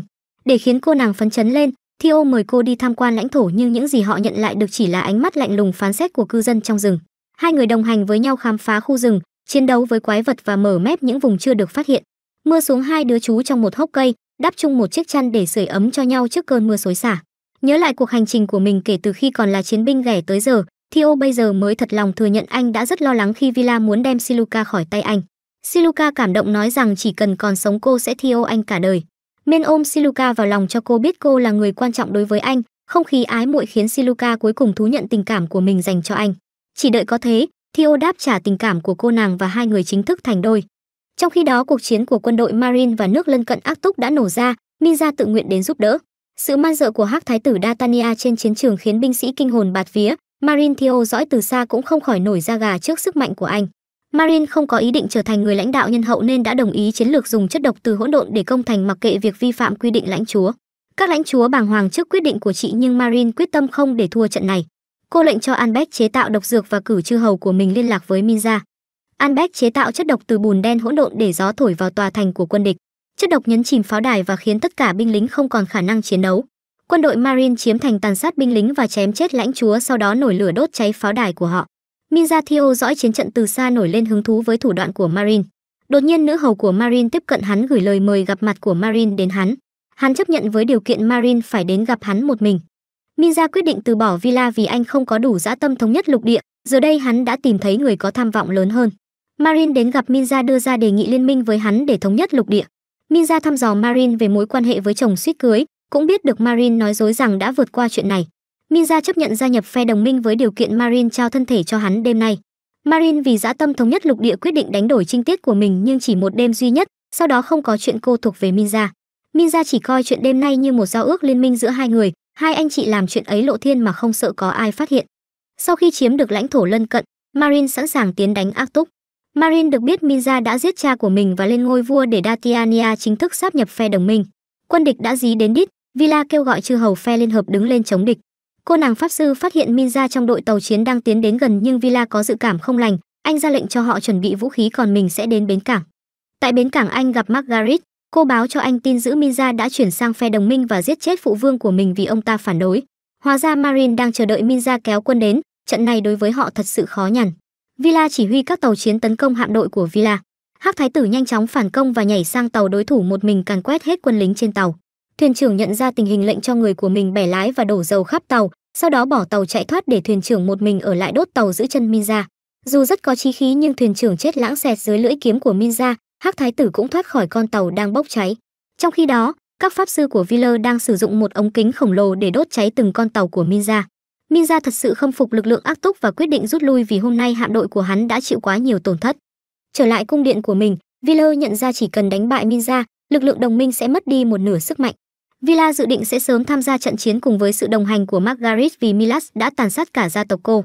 Ngay sau đó chiến hạm khổng lồ của chị đẹp phe liên hiệp đã tham chiến phá tan hạm đội của Minza, Hắc thái tử nhận ra trên biển không còn là lợi thế nữa nên lệnh cho quân lính vào bờ ngay lập tức. Mặt khác, lực lượng của Marine đã đánh bại một trong những đồng minh mạnh nhất của Villa. Chẳng bao lâu sau, Minza và các đồng minh khác gia nhập lực lượng của cô, Marine tuyên bố chiến tranh lúc này mới thật sự bắt đầu. Công chúa Urukia dẫn đầu hạm đội Bắc Âu tiến đánh lâu đài Kỳ Lân giữa đêm. Villa nhận ra cục diện đã định ác túc buộc phải thua cuộc, anh quyết định tự mình lên tiền tuyến chiến đấu và liên lạc cho phép các chư hầu đầu hàng phe đồng minh. Anh và Margaret sẽ sát cánh đến giây phút cuối cùng. Anh thừa nhận đã luôn giấu kín tình cảm của mình dành cho cô vì sợ hãi mất đi tình yêu. Chiến hạm khổng lồ của Edokia không thể cản bước đoàn hạm đội của quân Bắc Âu. Họ bị buộc đến đường cùng phải tự nổ con tàu để tiêu diệt càng nhiều quân địch càng tốt nhưng hạm đội Bắc Âu không chịu nhiều thương tổn. Quân địch đã bao vây lâu đài Kỳ Lân từ mọi phía. Với sự dẫn đầu của Marine đội quân đột phá cổng lâu đài tiến vào. Villa và Margaret đã sẵn sàng đối mặt với kẻ địch dù không có chút cơ hội chiến thắng. Margaret sử dụng pháp thuật tối thượng của mình đốt cháy phòng tuyến của kẻ thù trong khi Villa hạ gục tất cả kẻ thù cản đường Anh. Margaret rất nhanh đã cạn kiệt năng lượng, Villa chạy đến đỡ cô nhưng đã bị cô đẩy lùi lại. Margaret nguyện hy sinh mạng sống của mình nghênh địch. Đến cuối cùng nữ pháp sư xinh đẹp chỉ còn lại đống cho tàn. Villa điên cuồng lao vào quân địch trước cái chết của người thương. Marin lệnh cho quân lính nhấn chìm anh dưới làn mưa tên nhưng Villa đã dùng thánh ấn tạo ra lá chắn giữ mạng. Marin dường như đã hiểu ra ý của em họ, cô quyết định tự mình nói chuyện với anh lần cuối. Villa mở rộng vòng tay ôm lấy chị họ, giờ đây thánh ấn và lãnh thổ của anh sẽ thuộc về chị nhưng Villa không có nửa lời oán trách. Anh cầu nguyện con đường chị đi sẽ thuận lợi và hơn hết mong hạnh phúc đến với chị và Alexis. Villa ra đi, thánh ấn của anh cũng tan vỡ. Biết tin lãnh chúa đã thất thủ quân lính liều chết trả thù nhưng không hề hấn gì. Chỉ vòn vẹn một đêm Marin đã thành công chiếm được lâu đài Kỳ Lân. Cô tiến đến đại sảnh, pháp sư của Villa chúc mừng cô đã chiếm được lâu đài nhưng người trong thành thề sẽ trung thành với Villa đến hơi thở cuối cùng. Cô nàng uống thuốc độc tự vẫn trong khi nữ pháp sư còn lại đề nghị được chữa thương cho binh lính bất kể là quân đội của ai. Sau đó Marin giao lãnh thổ ác túc và thánh ấn của Villa cho Minza còn cô sẽ dẫn quân tiếp tục chinh phạt phe liên hiệp thống nhất lục địa. Tin tức Villa bỏ mạng rất nhanh chóng truyền đến tai các chư hầu và đồng minh của anh, Theo cũng vô cùng đau lòng. Các đồng minh từng ủng hộ Villa đã chung nhau lập lên phe hiệp ước ác túc để trả thù cho bá tước và ngăn chặn phe đồng minh chinh phạt lục địa. Mọi người đều tin rằng Lassik nên là thủ lĩnh tiếp Theo, nhưng anh từ chối vì nghĩ rằng Theo là lựa chọn sáng giá hơn cho vị trí này. Tuy nhiên các lãnh chúa vẫn chưa công nhận tài năng của Theo, hai bên cãi nhau qua lại nhưng không đi đến quyết định cuối cùng được. Theo đành ra mặt hứa sẽ chứng minh thực lực của mình với tư cách là người lãnh đạo trong trận chiến lần tới để khiến các lãnh chúa thay đổi cách nhìn về anh. Họ chấp nhận Lassik sẽ là thủ lĩnh tạm thời của hiệp ước để Theo có cơ hội chứng minh anh xứng đáng với vị trí thủ lĩnh. Sau khi có được tước vị và lãnh thổ của Villa, Minja chinh phạt khắp nơi nhưng đến đâu cũng nhận được sự khinh thường từ những người kính trọng Villa. Sau đó pháp sư của Marin đến gặp hắn và truyền đạt ý của cô để hắn chinh phạt các vùng từng thuộc dưới trướng của Villa bao gồm cả những lãnh chúa đã lập lên hiệp ước ác túc được lãnh đạo bởi Lassik. Pháp sư khuyên hắn nên cẩn trọng với sức mạnh của phe hiệp ước nhưng hắn nổi đoá vì không muốn nghe kẻ nào nghi ngờ khả năng của mình. Minza dẫn quân đi quẩy nát lục địa ác túc khiến em họ của Villa quyết định rút quân Theo kế hoạch để dụ hắn và quân đội tới nơi Lassik đã đợi sẵn. Lassik và Minza đã sớm nghe thanh danh của nhau, hào hức lao vào nhau như hai con mãnh thú tranh nhau phô diễn sức mạnh. Quân đội hai bên cũng tham chiến, hai bên đánh nhau đến lưỡng bại câu thương, cả Lassik và Minza đều bị thương và cảm thán không hổ danh đều là kẻ mạnh. Minza công nhận Lassik quả là đối thủ xứng tầm mà hắn tìm kiếm, vì thế cục bất lợi nên hắn đành rút khỏi chiến trường. Marin cũng kéo quân đến lãnh thổ của Theo, cô nàng hối hận vì trước đây không để anh tham gia phe đồng minh. Dù hiện tại Theo chưa thể có một đội quân mạnh nhưng có lẽ vì Marin không thích chiến tranh nên cô không muốn đối đầu với Theo và Siluka. Nữ vương muốn nói chuyện với hai người trước khi chiến tranh nổ ra và nhờ pháp sư của mình gửi lời tới họ. Theo thắc mắc không biết Marin muốn nói chuyện gì khi thế cuộc đã hòa toàn nghiêng về phía cô ấy. Siluka đoán rằng nữ vương đã có hứng thú với anh, ít nhất cuộc gặp gỡ này sẽ mang tính riêng tư thay vì chính trị. Theo cũng có lời muốn nói với Marin nên đã đồng ý gặp cô nàng. Siluka cũng muốn gặp lại cha nuôi lần cuối vì dù ông từng muốn xiên cả con gái nhưng ông vẫn là cha cô. Hai người đến doanh trại của Marin, Siluka ôm chầm lấy cha trước khi bắt đầu cuộc họp. Marin cũng ra mắt Theo lần đầu vì bày tỏ đã nghe rất nhiều lời ca tụng về anh. Dù đã nghe về thủ đoạn chiến tranh hiểm độc của Marin nhưng tính cách chị gái ngoài đời lại dễ chịu hơn anh tưởng. Theo cho cô biết Alexis vẫn luôn đem lòng yêu cô như ngày nào, anh muốn hai người có thể về bên nhau nhưng Marin gạt phăng đi vì trước khi chết Villa cũng nói điều tương tự với chị. Đứng trước lý tưởng kết thúc kỷ nguyên hỗn độn đem lại trật tự hòa bình thì tình yêu chỉ là khái niệm ngây thơ của những kẻ mộng mơ. Marin sẵn sàng đổ nhiều máu hơn nữa nếu cần, cô không muốn chiến đấu với Theo và Siluka, nhưng bằng mọi giá cô sẽ lấy lại lãnh thổ này, lần tới gặp nhau sẽ là trên chiến trường. Men và Siluka trở lại lâu đài, anh có thể nhận ra Marin vẫn còn tình cảm với Alexis, anh vẫn dự định đưa họ về với nhau dù có cần đến phép màu, anh sẽ tạo ra điều kỳ diệu ấy. Siluka bị lời nói của anh làm ngạc nhiên, nhưng sau đó lại càng bối rối vì anh tóm lấy và hôn cô ngay trước mặt binh sĩ. Siluka ngượng ngùng bảo đây không phải lúc thích hợp nhưng men nghĩ không có lúc nào hợp hơn lúc này. Chính là thời khắc họ truyền động lực cho binh sĩ của mình chiến đấu vì tình yêu và lý tưởng hòa bình của lục địa. Những người lính hô vang vì tình yêu khiến Siluka nhận ra Theo đang cố tình khiêu khích Marin để đánh thức trái tim còn thổn thức của chị. Quả nhiên mánh khóe có tác dụng, trái tim không tin tưởng vào tình yêu của Marin đã bị đả kích. Sau đó cô nghe tin đội quân Bắc Âu đã bị phe hiệp ước đánh bại nên đành rút quân. Điều này đồng nghĩa chiến sự sẽ chuyển về phương Bắc. Siluka cho rằng bây giờ chính là cơ hội để họ tiến về quê hương Anh giành lại quyền kiểm soát Rossini. Chính vì ước muốn đem đến phép màu cho thảm kịch đại sảnh, giúp Alexis và Marin đoàn tụ, anh phải có sức mạnh và địa vị ngang hàng với Alexis và Marin. phải lấy lại quê hương của mình và chứng minh thực lực với các lãnh chúa để leo lên vị trí đứng đầu phe hiệp ước. Theo chấp nhận kế hoạch này, anh thông báo cho Lassic nhưng pháp sư của Lassic nghĩ hai đứa quá điên rồ vì với số quân lính họ có không thể lật đổ được Rossini. Trái lại Lassic vô cùng hào hứng vì chỉ cần đánh bại Rossini, Theo có thể chứng minh bản thân với các lãnh chúa và thuận lợi ngồi lên vị trí thủ lĩnh. Theo mang Theo thuộc hạ thân tín trở về quê hương sau nhiều tháng tha hương cầu thực, vị thế của anh cũng đã khác khi rời đi. Họ ngạc nhiên khi phát hiện bọn quý tộc cố tình để mầm mống hỗn độn tự do loanh quanh trên đảo, chia cắt người dân để dễ bề trị vì. Theo muốn nhanh chóng kết thúc chuyện này nên quyết định hành quân đến thị trấn ngay lập tức. Rossini chắc hẳn đã nghe tin anh đến đảo và đem quân tới đối đầu, họ sẽ lợi dụng gia tộc Rossini để dân chúng biết rằng vị anh hùng Cornaro của họ đã trở về, khiến dân chúng vùng lên đấu tranh. Cả đoàn đến thị trấn rồi chia làm hai ngả, Theo, Siluka và Isela đến nhà hàng thì bắt gặp Iana đang ăn uống sang chảnh với Đồng An ở đó. Kẻ cặp kè với cô ả lại chính là Salvador, con trai của bá tước Rossini. Salvador định tính sổ dùng bạn gái nhưng đến khi biết người tới là Theo Cornaro thì chuyện đã không dừng lại ở trả thù riêng. Theo tuyên bố anh sẽ đánh bại gia đình Rossini và giải phóng quê hương của mình. Salvador cho rằng anh quá ngạo mạn nên sử dụng thánh ấn để khiến người trong quán ăn thề trung thành với hắn. Những người bị kiểm soát đều trở thành con rối giết chóc không ý thức nên Theo quyết định bỏ trốn vì không muốn làm hại người dân vô tội. Siluka dùng phép thuật phát quang khiến cả nhà hàng lóa mắt tạo cơ hội cho họ trốn thoát. Sau khi hội họp tại địa điểm chỉ định, Irvin báo rằng có một đội tìm kiếm đang tuần tra khắp thị trấn trong đó có cả quỷ ấn sư. Ít nhất họ đã đạt được mục đích gây tiếng vang với sự trở lại của Theo cho người dân, giờ đây điều cần làm là đi khắp nơi chiêu mộ người dân nổi dậy chống lại ách đô hộ của nhà Rossini. Nói thì dễ hơn làm vì dân làng đã có điều kiện để chấp nhận sự ngược đãi từ binh lính của Rossini. Họ từ chối giúp Theo trong cuộc nổi loạn của anh ta, nói với anh ta rằng tất cả những ai cố gắng nổi dậy chống lại Rossini đều đã bị giết, cũng không ai mượn anh đánh đổ nhà Rossini cả. Theo ra về tay trắng, vốn dĩ đã biết trước kết quả vì Sistina đã luôn như vậy. Nhà Rossini cai trị con dân bằng nỗi sợ hãi và tuyệt vọng, họ không có cách nào thoát khỏi vòng luẩn quẩn đó. Trong khi đó, Salvador đã tập hợp một đội quân nhỏ để truy sát Theo và cử một sát thủ đến cảnh báo dân làng nếu dám liên minh với Theo thì treo giò lên bàn thờ. Theo đến các ngôi làng nhưng thái độ của người dân vô cùng hung hãn, họ đuổi anh đi vì làng bên cạnh đã bị đốt cháy chỉ vì anh ghé thăm. Dân làng từ chối lắng nghe và đổ lỗi mọi thứ lên đầu Theo thay vì thủ phạm sau đó đuổi anh đi. Không ngờ kết quả lại bi thảm đến vậy, liệu rằng có ai chịu đứng lên cùng với họ trong cuộc chiến này hay không? Siluka gợi ý họ đến làng cũ của anh, biết đâu chừng sẽ có người ủng hộ anh. Sự im lặng của Theo đã nói lên tất cả, thế nhưng Theo vẫn nguyện dẫn họ về làng để họ tận mắt thấy những gì anh đã trải qua.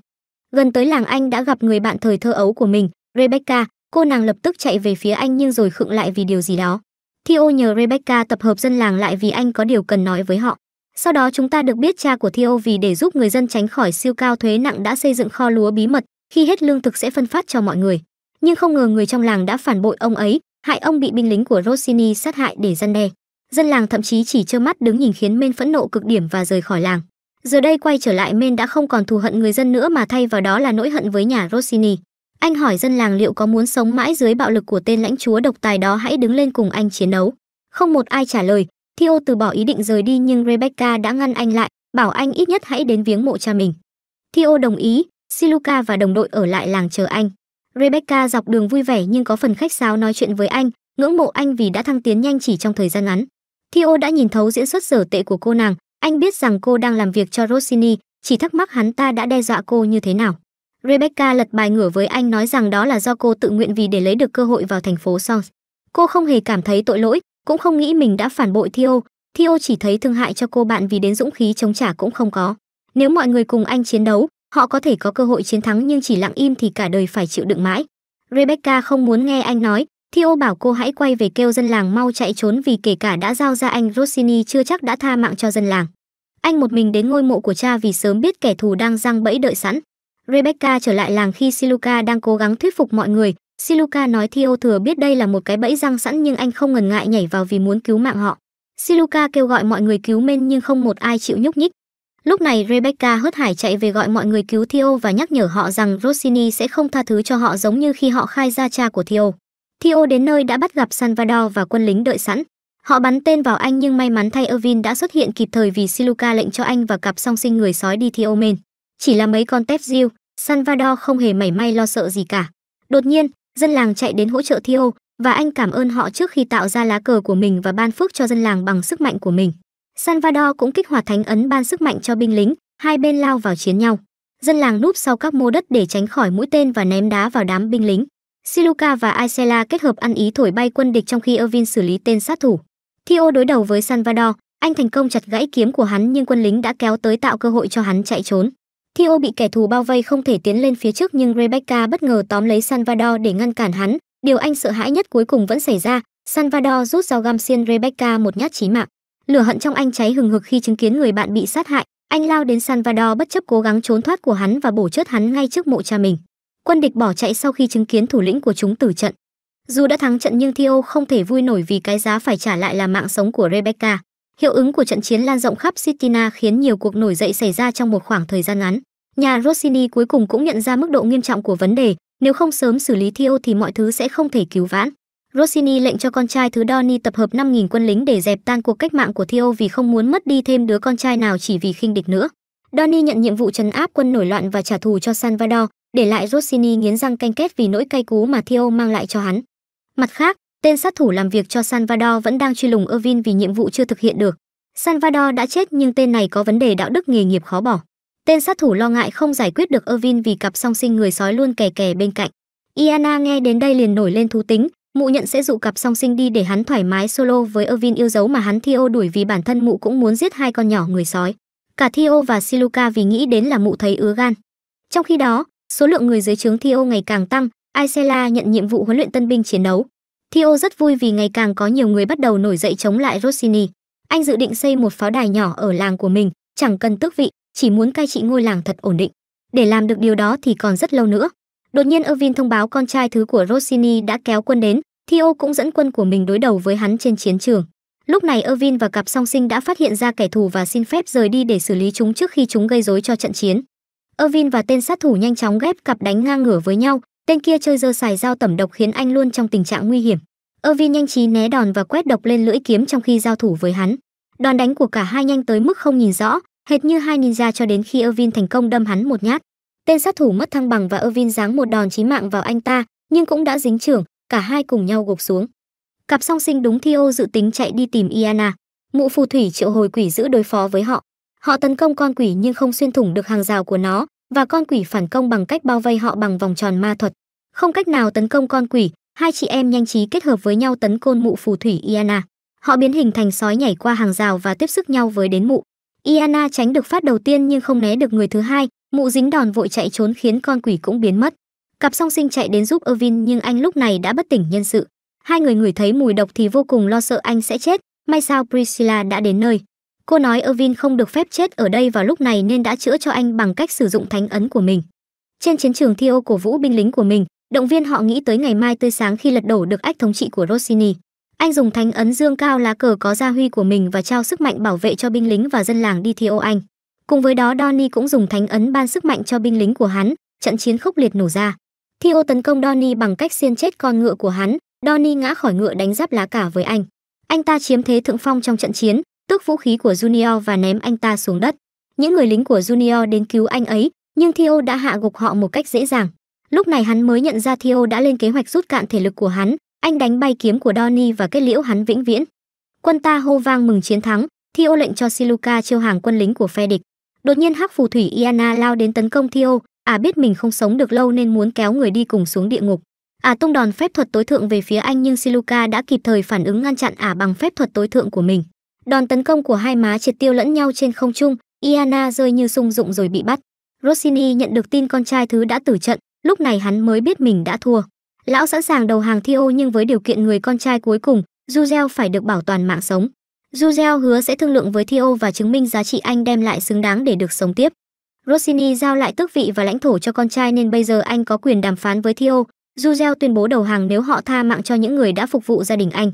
Theo cứng rắn trả lời rằng anh và cha sẽ chết tất cả tài sản mà gia đình và bè phái của họ tích lũy được đều sẽ bị tịch thu.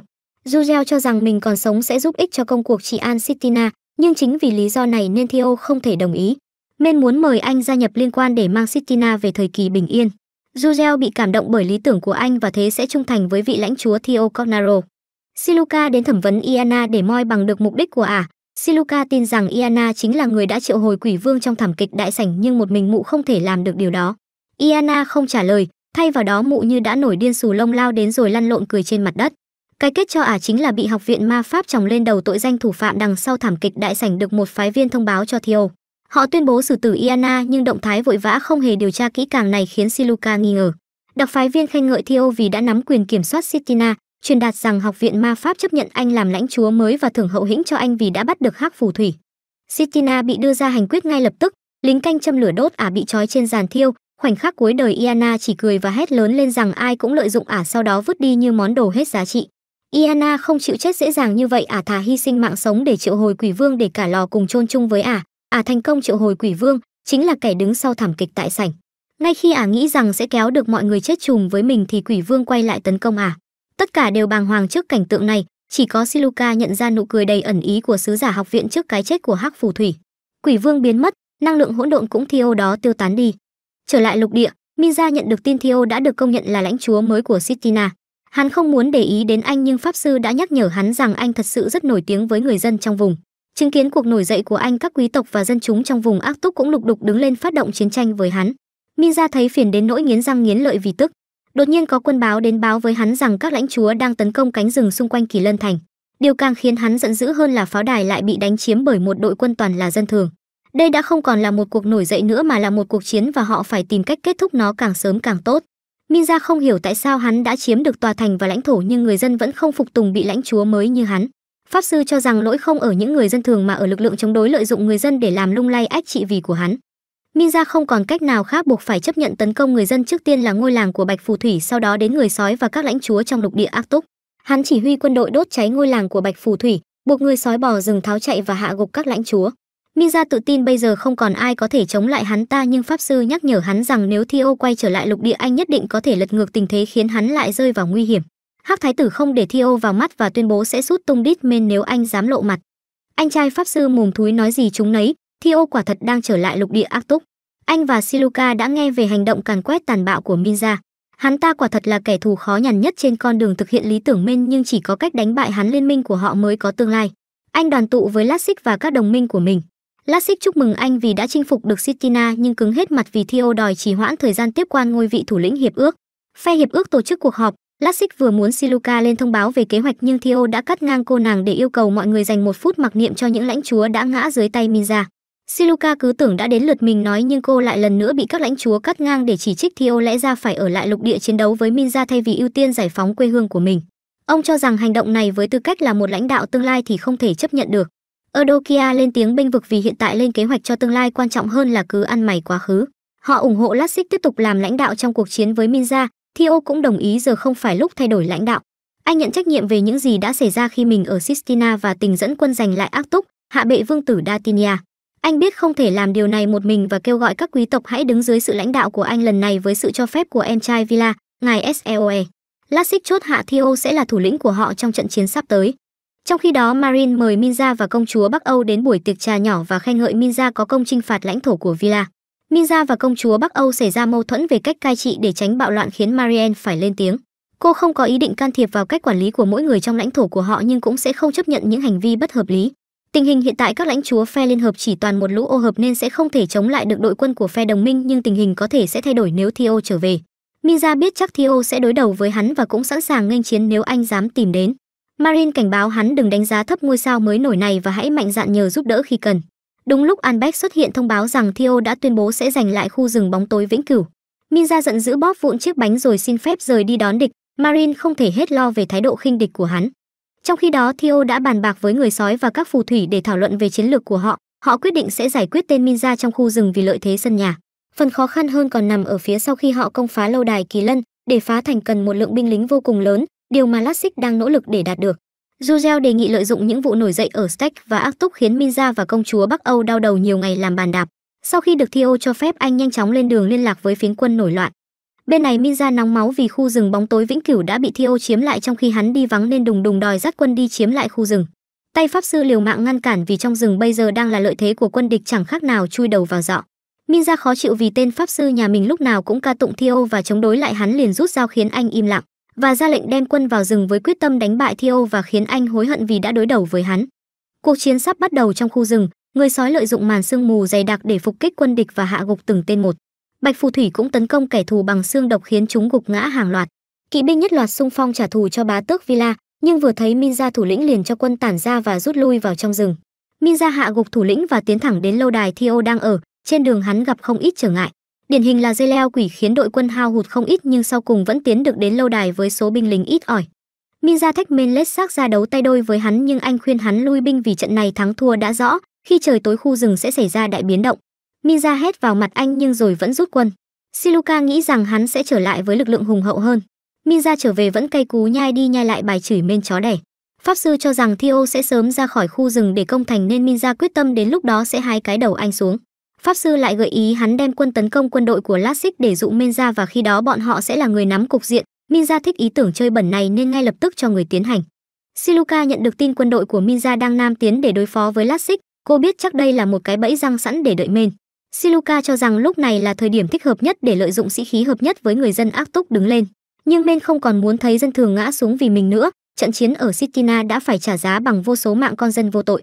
Siluka nhẹ nhàng an ủi người yêu rằng anh đã giúp họ cất lên tiếng lòng bấy lâu nay, Theo thoát ra khỏi cái bóng tội lỗi và quyết tâm toàn lực tiến đánh Kỳ Lân Thành khi Minza lại đi vắng. Để thực hiện kế hoạch, Siluka liên lạc với đồng nghiệp thông báo với họ về kế hoạch kéo dài thời gian của Minza để Theo công thành. Đột nhiên cô nàng pháp sư của SLOE nảy ra một ý tưởng và bảo họ để lãnh chúa nhà mình lo tên Minza. Khi đang nam tiến Minza nhận được tin SLOE đã bỏ chạy khỏi thành thậm chí còn bỏ lại pháp sư của mình. Hắn cho rằng các lãnh chúa không tin tưởng Theo nên bỏ của chạy lấy người, hắn quyết định chiếm thành trước và tiến đánh lát xích sau. Hắn lệnh cho pháp sư đánh chiếm thành của bá tước seoe càng nhanh càng tốt và để lại 5.000 quân đội tại đó. Sau đó khi trên đường hành quân Minza đã phát hiện ra tất cả chỉ là một cú chơi khăm đau điếng đến từ vị trí của theo Anh đã tập hợp được địa quân lên đến 5 vạn người đối đầu trực diện với hắn. Minza nổi cơn thịnh nộ định dẫn quân chinh phạt lập tức nhưng bị pháp sư ngăn lại vì quân số chênh lệch quá nhiều. Minza tức giận khi tay pháp sư đề nghị hắn chạy trốn vào thành Kỳ Lân cố thủ đợi viện quân nhưng nghĩ lại hắn chỉ có thể chấp nhận và rút quân về thành. Ninja không thể ngờ mình lại rơi vào tình thế phải chịu chờ viện trợ. Marine cử 3.000 kỵ binh đến viện trợ còn phía quân đội Bắc Âu thì lặn luôn không sủi tăm. Nhìn pháo đài và doanh trại khổng lồ trước mắt, Ninja biết rằng đây hẳn là thất bại đau đớn đầu tiên trong đời hắn, nhưng hắn không chấp nhận đứng yên chờ chết. Thế nhưng tin xấu cứ liên tục ập đến, trước khi Marine kịp hợp lực Lasik cũng đã hội hợp với đội quân vạn người của Theo trước thành Kỳ Lân.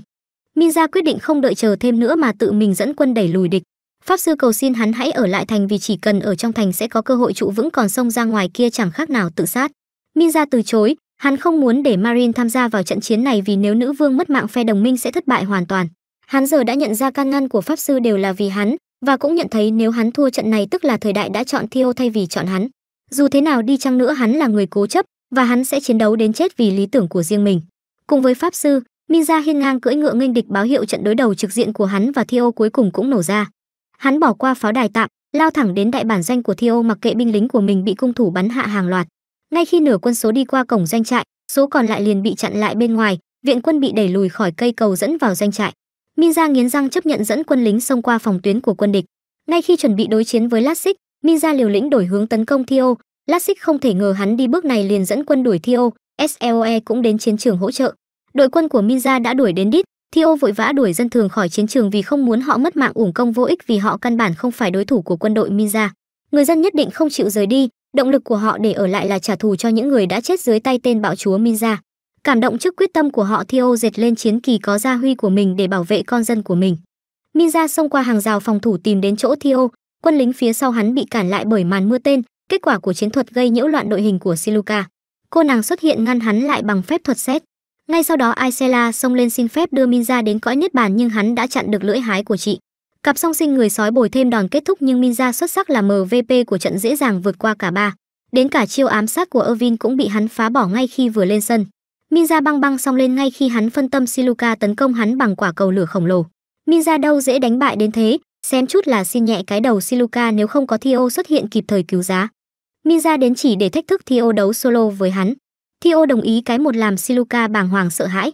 Ai cũng biết nếu đánh solo men không bao giờ có cửa thắng bọ cạp độc của Datiania, tương lai lục địa cũng sẽ đi vào ngõ cụt nếu anh mất mạng. Theo hiểu những lo lắng của người yêu nhưng anh không thể cứ chạy trốn khỏi cuộc chiến định mệnh này mãi. Siluka bắt anh hứa rằng anh phải thắng, Theo ôm người thương yêu cầu cô tin tưởng anh rồi đến bên Minza. Cả hai kích hoạt thánh ấn của mình chuẩn bị cho trận chiến định mệnh, cả chiến trường đều ngừng lại Theo dõi hai người bọn họ. Minza hung hăng xông lên trước, theo vẫn như mọi khi làm tốt công tác phòng thủ rồi phản công khi thời cơ đến. Minza né đòn tấn công của anh rồi giáng một đòn chí mạng nhưng bị Theo vô hiệu hóa. Minza điên cuồng tấn công liên tục khiến Theo bị thương trong tình thế phòng thủ, cuộc chiến diễn ra căng thẳng trong tiếng chửi bới chế nhạo của Minza. Vừa đánh vừa chửi thì tắt tiếng sớm là đúng rồi. Minza thậm chí còn không nhận ra chiến thuật bào mòn sức địch của Theo, sau một hồi tay làm hàm chửi hắn gần như đã đạt đến giới hạn. Bị Theo công kích hắn càng tức điên lên vung kiếm mù quáng khiến sức lực càng bị bào mòn nhanh hơn. Minza loạn choạng chống đỡ, theo khuyên hắn dừng lại vì đại quân của hắn đã đầu hàng.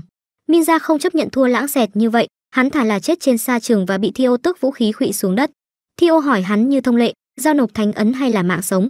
Minza chọn được chết như một chiến sĩ, nên đành tọa nguyện cho hắn với nhát kiếm xuyên qua cổ họng. Pháp sư của hắn gục ngã trước cái chết của chủ nhân, sau đó cũng chọn tự sát để đi Theo hắn.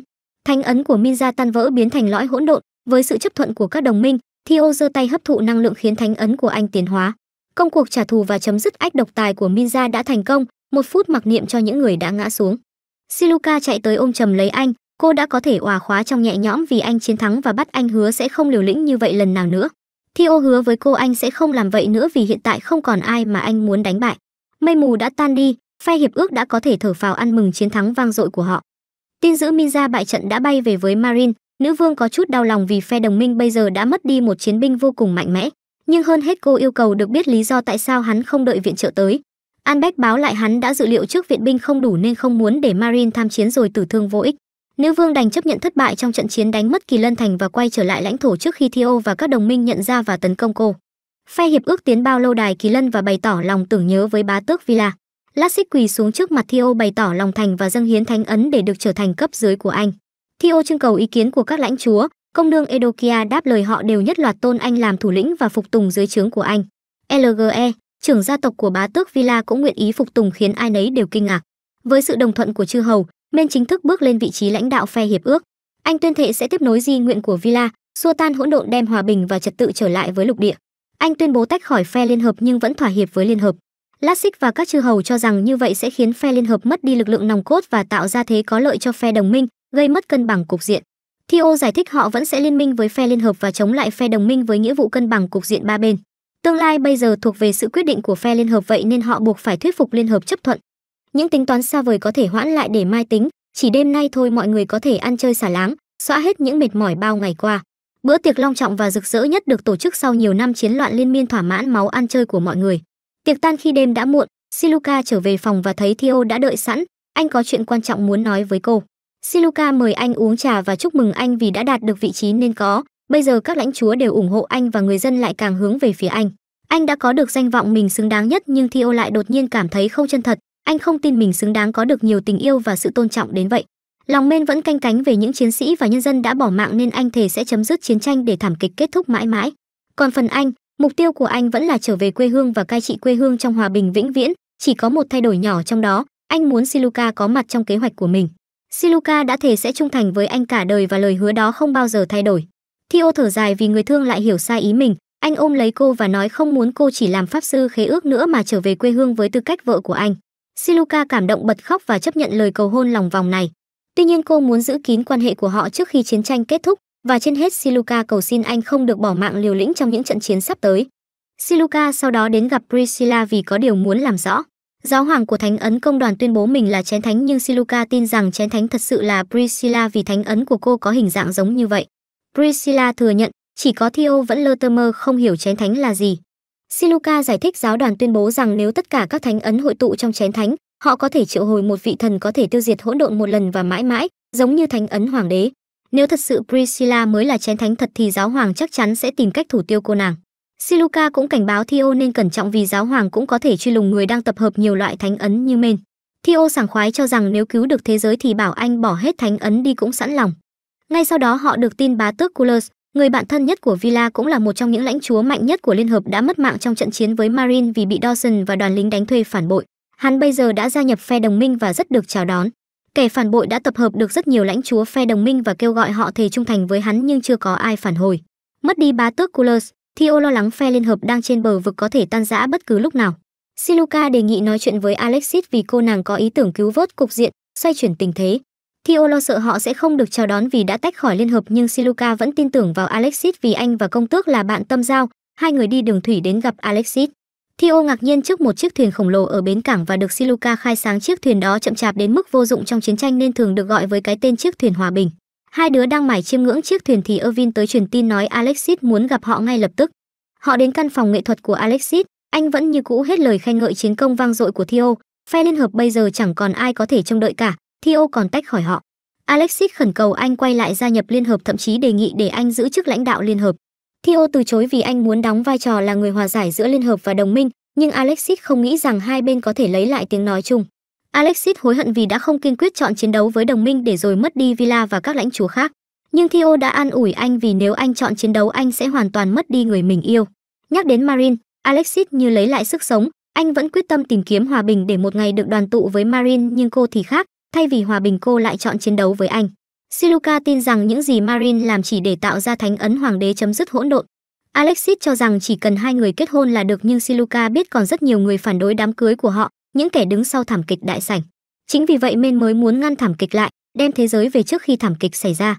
Alexis đã hoàn toàn mất niềm tin, Siluka động viên anh chỉ cần đạt được hòa bình giữa đồng minh và liên hợp và hiệp ước và cân bằng thế mạnh quân sự. Các nước liên hợp đều rất giàu có và chưa phải vướng vào chiến tranh nên không hề thiếu hụt tài nguyên so với phe đồng minh đã chịu nhiều tổn thất. Siluka yêu cầu anh đứng dậy lật ngược ván cờ nhưng Alexis không có gì ngoài trái tim yếu đuối không tin vào chính mình. Theo nói chỉ có cách này anh mới có thể cứu Marin và Marin vẫn luôn yêu anh. Dù cô có hợp nhất lục địa, có được thánh ấn hoàng đế nhưng cô sẽ không bao giờ có được hạnh phúc nếu mất đi người đàn ông của đời mình. Alexis bàng hoàng khi nghe tin Marin vẫn còn yêu mình từ miệng Theo, ai đó làm ơn nhảy vào tát cho anh trai tỉnh hộ men với chứ tôi hắn thanh niên bất lực lắm rồi. Sau cùng Alexis cũng tỉnh ngộ cầm kiếm bước ra ngoài như người mộng du khiến ai nấy đều sốc khi thấy Phúc Bồi cầm kiếm. Alexis tuyên bố với pháp sư của mình chuẩn bị tấn công trinh phạt kẻ phản bội Dawson. Bà pháp sư há hốc mồm kinh ngạc rồi vội lệnh quân triệu tập trước khi yếu đuối Boy đổi ý. Quân đội hay tinh lãnh đạo của họ cuối cùng cũng đứng lên, dù hơi muộn nhưng cũng khiến sĩ khí tăng vùn vụt, lòng quân như một hướng về Alexis. Trong khi đó, Dawson đang tận hưởng cuộc sống sau khi gia nhập đồng minh, chắc mẩm hiện tại không còn ai có thể đánh bại được hắn. Hắn chế nhạo liên hợp chỉ toàn lũ óc heo không ra gì thì đột nhiên quân lính xông vào báo cáo hầu tước đã dẫn quân tiến đánh thành. Tên phản bội sốc xém chút sặc, nhìn ra cửa sổ đã thấy đại quân dí đến cửa nhà mình. Không chỉ có Alexis, các lãnh chúa phe liên hợp đều đứng dưới ngọn cờ phe liên hợp đến trừng phạt kẻ phản bội. Đại quân đông như kiến cỏ dọa Dawson sợ son đé vội vàng xin quân viện trợ từ Marine. Dừa lòng lắm, nữ vương viện cớ đang bận đánh nhau với phe hiệp ước nên không có thời gian. Thay vì kêu gào viện trợ sao hắn không thử chứng tỏ sức mạnh của mình để được các lãnh chúa đồng minh chấp nhận. Nhận ra mình đã bị lừa, Dawson lệnh cho pháp sư của mình gửi lời đến Alexis xin được về lại phe hiệp ước. Alexis từ chối nhận lại con chuột sau đám cháy nhà nhưng nếu hắn giao nộp thánh ấn đầu hàng thì có thể sẽ để hắn sống. Dawson bị dồn vào đường cùng bí quá hóa liều đành phát động chiến tranh với phe liên hợp. Hắn mê hoặc quân lính của mình và đám lính đánh thuê bán mạng cho hắn đổi lấy phần thưởng lớn nếu giành chiến thắng. Alexis thở dài khi thấy Dawson cố chấp dù anh đã muốn kết thúc mà không cần đổ máu. Alexis vung cây quyền trượng trong tay như họa sĩ, kích hoạt thánh ấn chỉ huy quân đội chiến đấu. Anh điều khiển kỵ binh bao vây quân địch và tập trung chúng vào không gian chật hẹp để cung thủ có thể dễ dàng tấn công. Chiến lược bao vây và kết liễu kẻ thù của anh ta cực kỳ hiệu quả và binh lính địch thậm chí không thể sơ hở để chống trả. Chiến trường bỗng chốc biến thành một bức tuyệt tác nghệ thuật chỉ thường thấy trong bảo tàng, sức mạnh áp đảo khiến tên phản bội dương cờ trắng đầu hàng. Tin Dawson thua cuộc truyền đến tai Marine nhưng nàng chẳng mấy bận tâm, điều duy nhất lọt vào tâm trí nàng là tên người chỉ huy quân đội liên hợp. Trong suýt cưới của nàng Alexis, một chiến lược gia xuất sắc tạo nên kiệt tác trên chiến trường. Marine không thể tin vào tai mình, cô lệnh cho Albert cảnh báo các lãnh chúa hãy cẩn trọng với Alexis đừng coi thường anh chỉ vì trông anh ẻo lả không giống một chiến binh thực thụ. Marine chạy về phòng ngã bịch lên giường, tự hỏi trong bao nhiêu con đường tại sao anh vẫn chọn lên chiến trường. Marin lo lắng và không hề muốn kéo anh vào cuộc chiến đẫm máu này. Tiếp theo hải quân của Alexis tiến đến Bắc Âu quẩy tương bừng với đội quân của vua Bắc Âu. Anh mang theo các thuyền chiến khổng lồ và chậm chạp, ngay khi phát hiện thuyền địch, Alexis lệnh cho thuyền ta tiến vào đội hình vòng tròn. Hải Vương ra lệnh quân đội tức tốc tiến đến bao vây chiến hạm phe địch. Nhận thấy đội hình đối thủ Hải Vương kích hoạt thánh ấn khiến các tướng sĩ chốc lát như hóa điên. Alexis lệnh cho quân ta lên thuyền nhỏ và ở yên đợi quân địch tiến đến gần. Ngay khi họ tản ra để bao vây, Alexis triển khai kế hoạch đã định sẵn, quân lính nhất loạt kích hoạt chiến kỳ. Hải quân phe ta nhất loạt nhấn chìm phe địch dưới làn mưa tên nhưng những tên hải quân phe địch dường như đã mất đi ý thức nên không còn biết đau đớn. Alexis lệnh cho thuyền chiến bọc thép phe ta tấn công tàu địch. Hải quân phe địch tiếp cận tàu bọc thép định trèo lên nhưng liền bị phe ta đẩy lùi xuống biển. Suốt nửa ngày trời quân địch tử thương vô số trong khi phe ta vẫn hiên ngang không chút tổn thất. Hải Vương tức giận không chịu thất bại trước một thằng oát con sang pha nhất mới lên chiến trường. Hắn sử dụng toàn bộ sức mạnh cuối cùng của thánh ấn bật môn quái thú, cường hóa đám lính còn lại của mình. Hải Vương lao băng băng về phía thuyền bọc thép, quét sạch quân lính trên thuyền, sức người bình thường không thể địch nổi hắn và những người lính đã mất đi ý thức. Hải Vương nhanh chóng tiếp cận thuyền bọc thép giáo giết tìm kiếm Alexis. Thậm chí cung thủ bao vây tấn công hắn liên tục nhưng Hải Vương không lùi bước dù bị bắn thành con nhím. Vũ khí cỡ nhỏ không được nên phe ta chuyển sang loại ngoại cỡ thành công khiến hắn ngã gục nhưng không ngờ Hải Vương lại là vua lì đòn, lão rút mũi tên ra khỏi cơ thể và lao về phía Alexis. Binh lính chùn chân không dám tiến lên vì biết chỉ có đường chết. Chứng kiến bộ dạng người không ra người ma không ra ma của lão, Alexis bật khóc. Quân lính hết sức bảo vệ thủ lĩnh đều chịu chung số phận lên bàn thờ người nhang. Pháp sư của Alexis cuối cùng đã xuất trận, bà ném dao tẩm độc đâm mù mắt lão, tạo cơ hội cho quân lính hái cái đầu của lão xuống. Hải Vương loạn trọng tiến về phía trước dù đã mất đầu rồi ngã xuống, máu chảy thành sông linh láng trên tàu. Hai đầu gối Alexis lung lay dữ dội khi chứng kiến cảnh tượng kinh hoàng này. Thanh ấn của Hải Vương vỡ nát, lõi hỗn độn của lão lộ ra trước không trung. Alexis được ủng hộ bước đến hấp thụ thánh ấn vào thánh ấn của mình. Sau trận chiến Siluka đến diện kiến Marin, sau thất bại của Hải Vương lực lượng quân sự ba phe đã đồng đều với nhau. Nhân cơ hội này Siluka muốn Marin ký hiệp ước hòa hoãn giữa đồng minh và liên hợp nhưng Marin không bao giờ đồng ý. Dù mất đi lực lượng của Hải Vương nhưng cô tin rằng đồng minh vẫn dư sức ăn đứt hai phe còn lại. Siluka chỉ đành tôn trọng quyết định của cô nhưng không quên cảnh báo chiến tranh chính là điều kẻ thù thật sự của họ mong muốn. Marin thắc mắc Siluka đã biết được những gì, cô cho biết học viện ma pháp có thể là kẻ đứng sau tất cả mọi thứ. Dù không có bằng chứng nhưng Siluka có cơ sở tin rằng họ chính là kẻ đứng sau thảm kịch đại sảnh. Marin không phục, cô vẫn có thể tìm ra sự thật sau khi đã thống nhất lục địa. Siluka cáo lui nhưng Marin không nhịn được hỏi họ đã nói gì để Alexis chịu lên chiến trường. Siluka đáp rằng tất cả chỉ vì Alexis muốn ngăn cản vợ suýt cưới lấn sâu vào con đường bạo lực vì cuối cùng người khổ chỉ có cô. Marin bật cười vì lời này, cô đã hy sinh quá nhiều để chọn con đường này nên sẽ không bao giờ dừng lại. Siluka nói rằng cả Theo và Alexis đều sẵn sàng ngăn cản cô sau đó rời đi.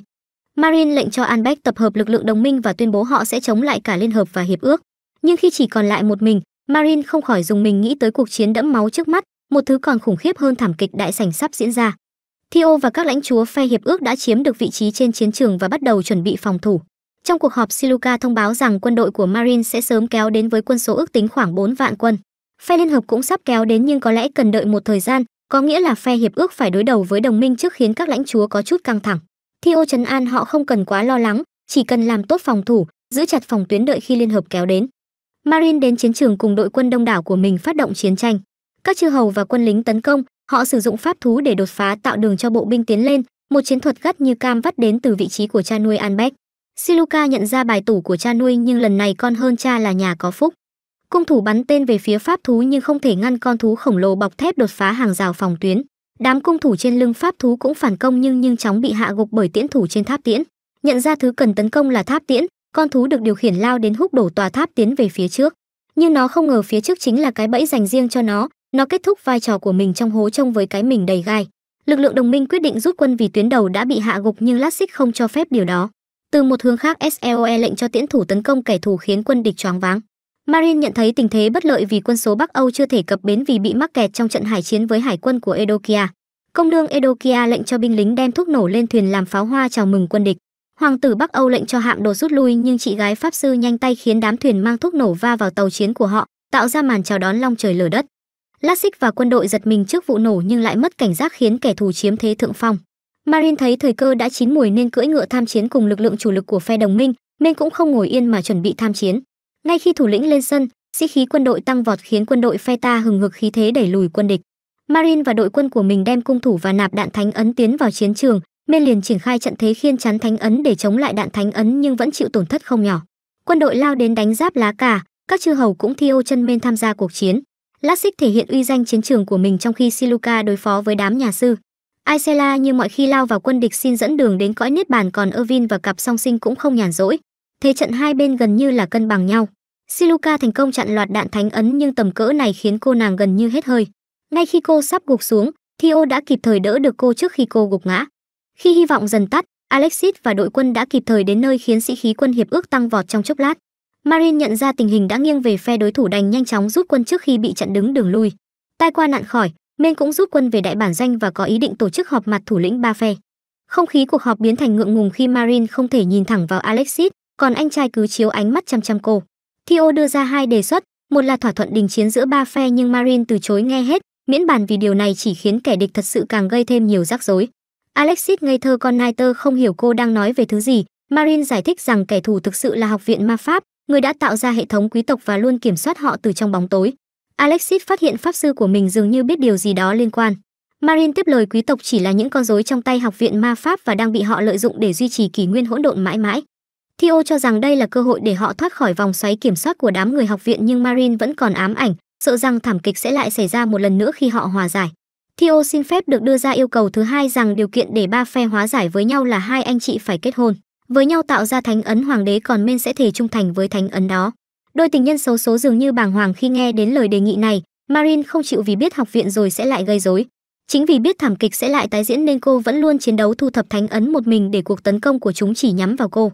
Marin sẵn sàng hy sinh bản thân để vạch trần tội ác của học viên cho bản dân thiên hạ rồi, rồi một ngày sẽ lại có người đứng lên Theo gót cô.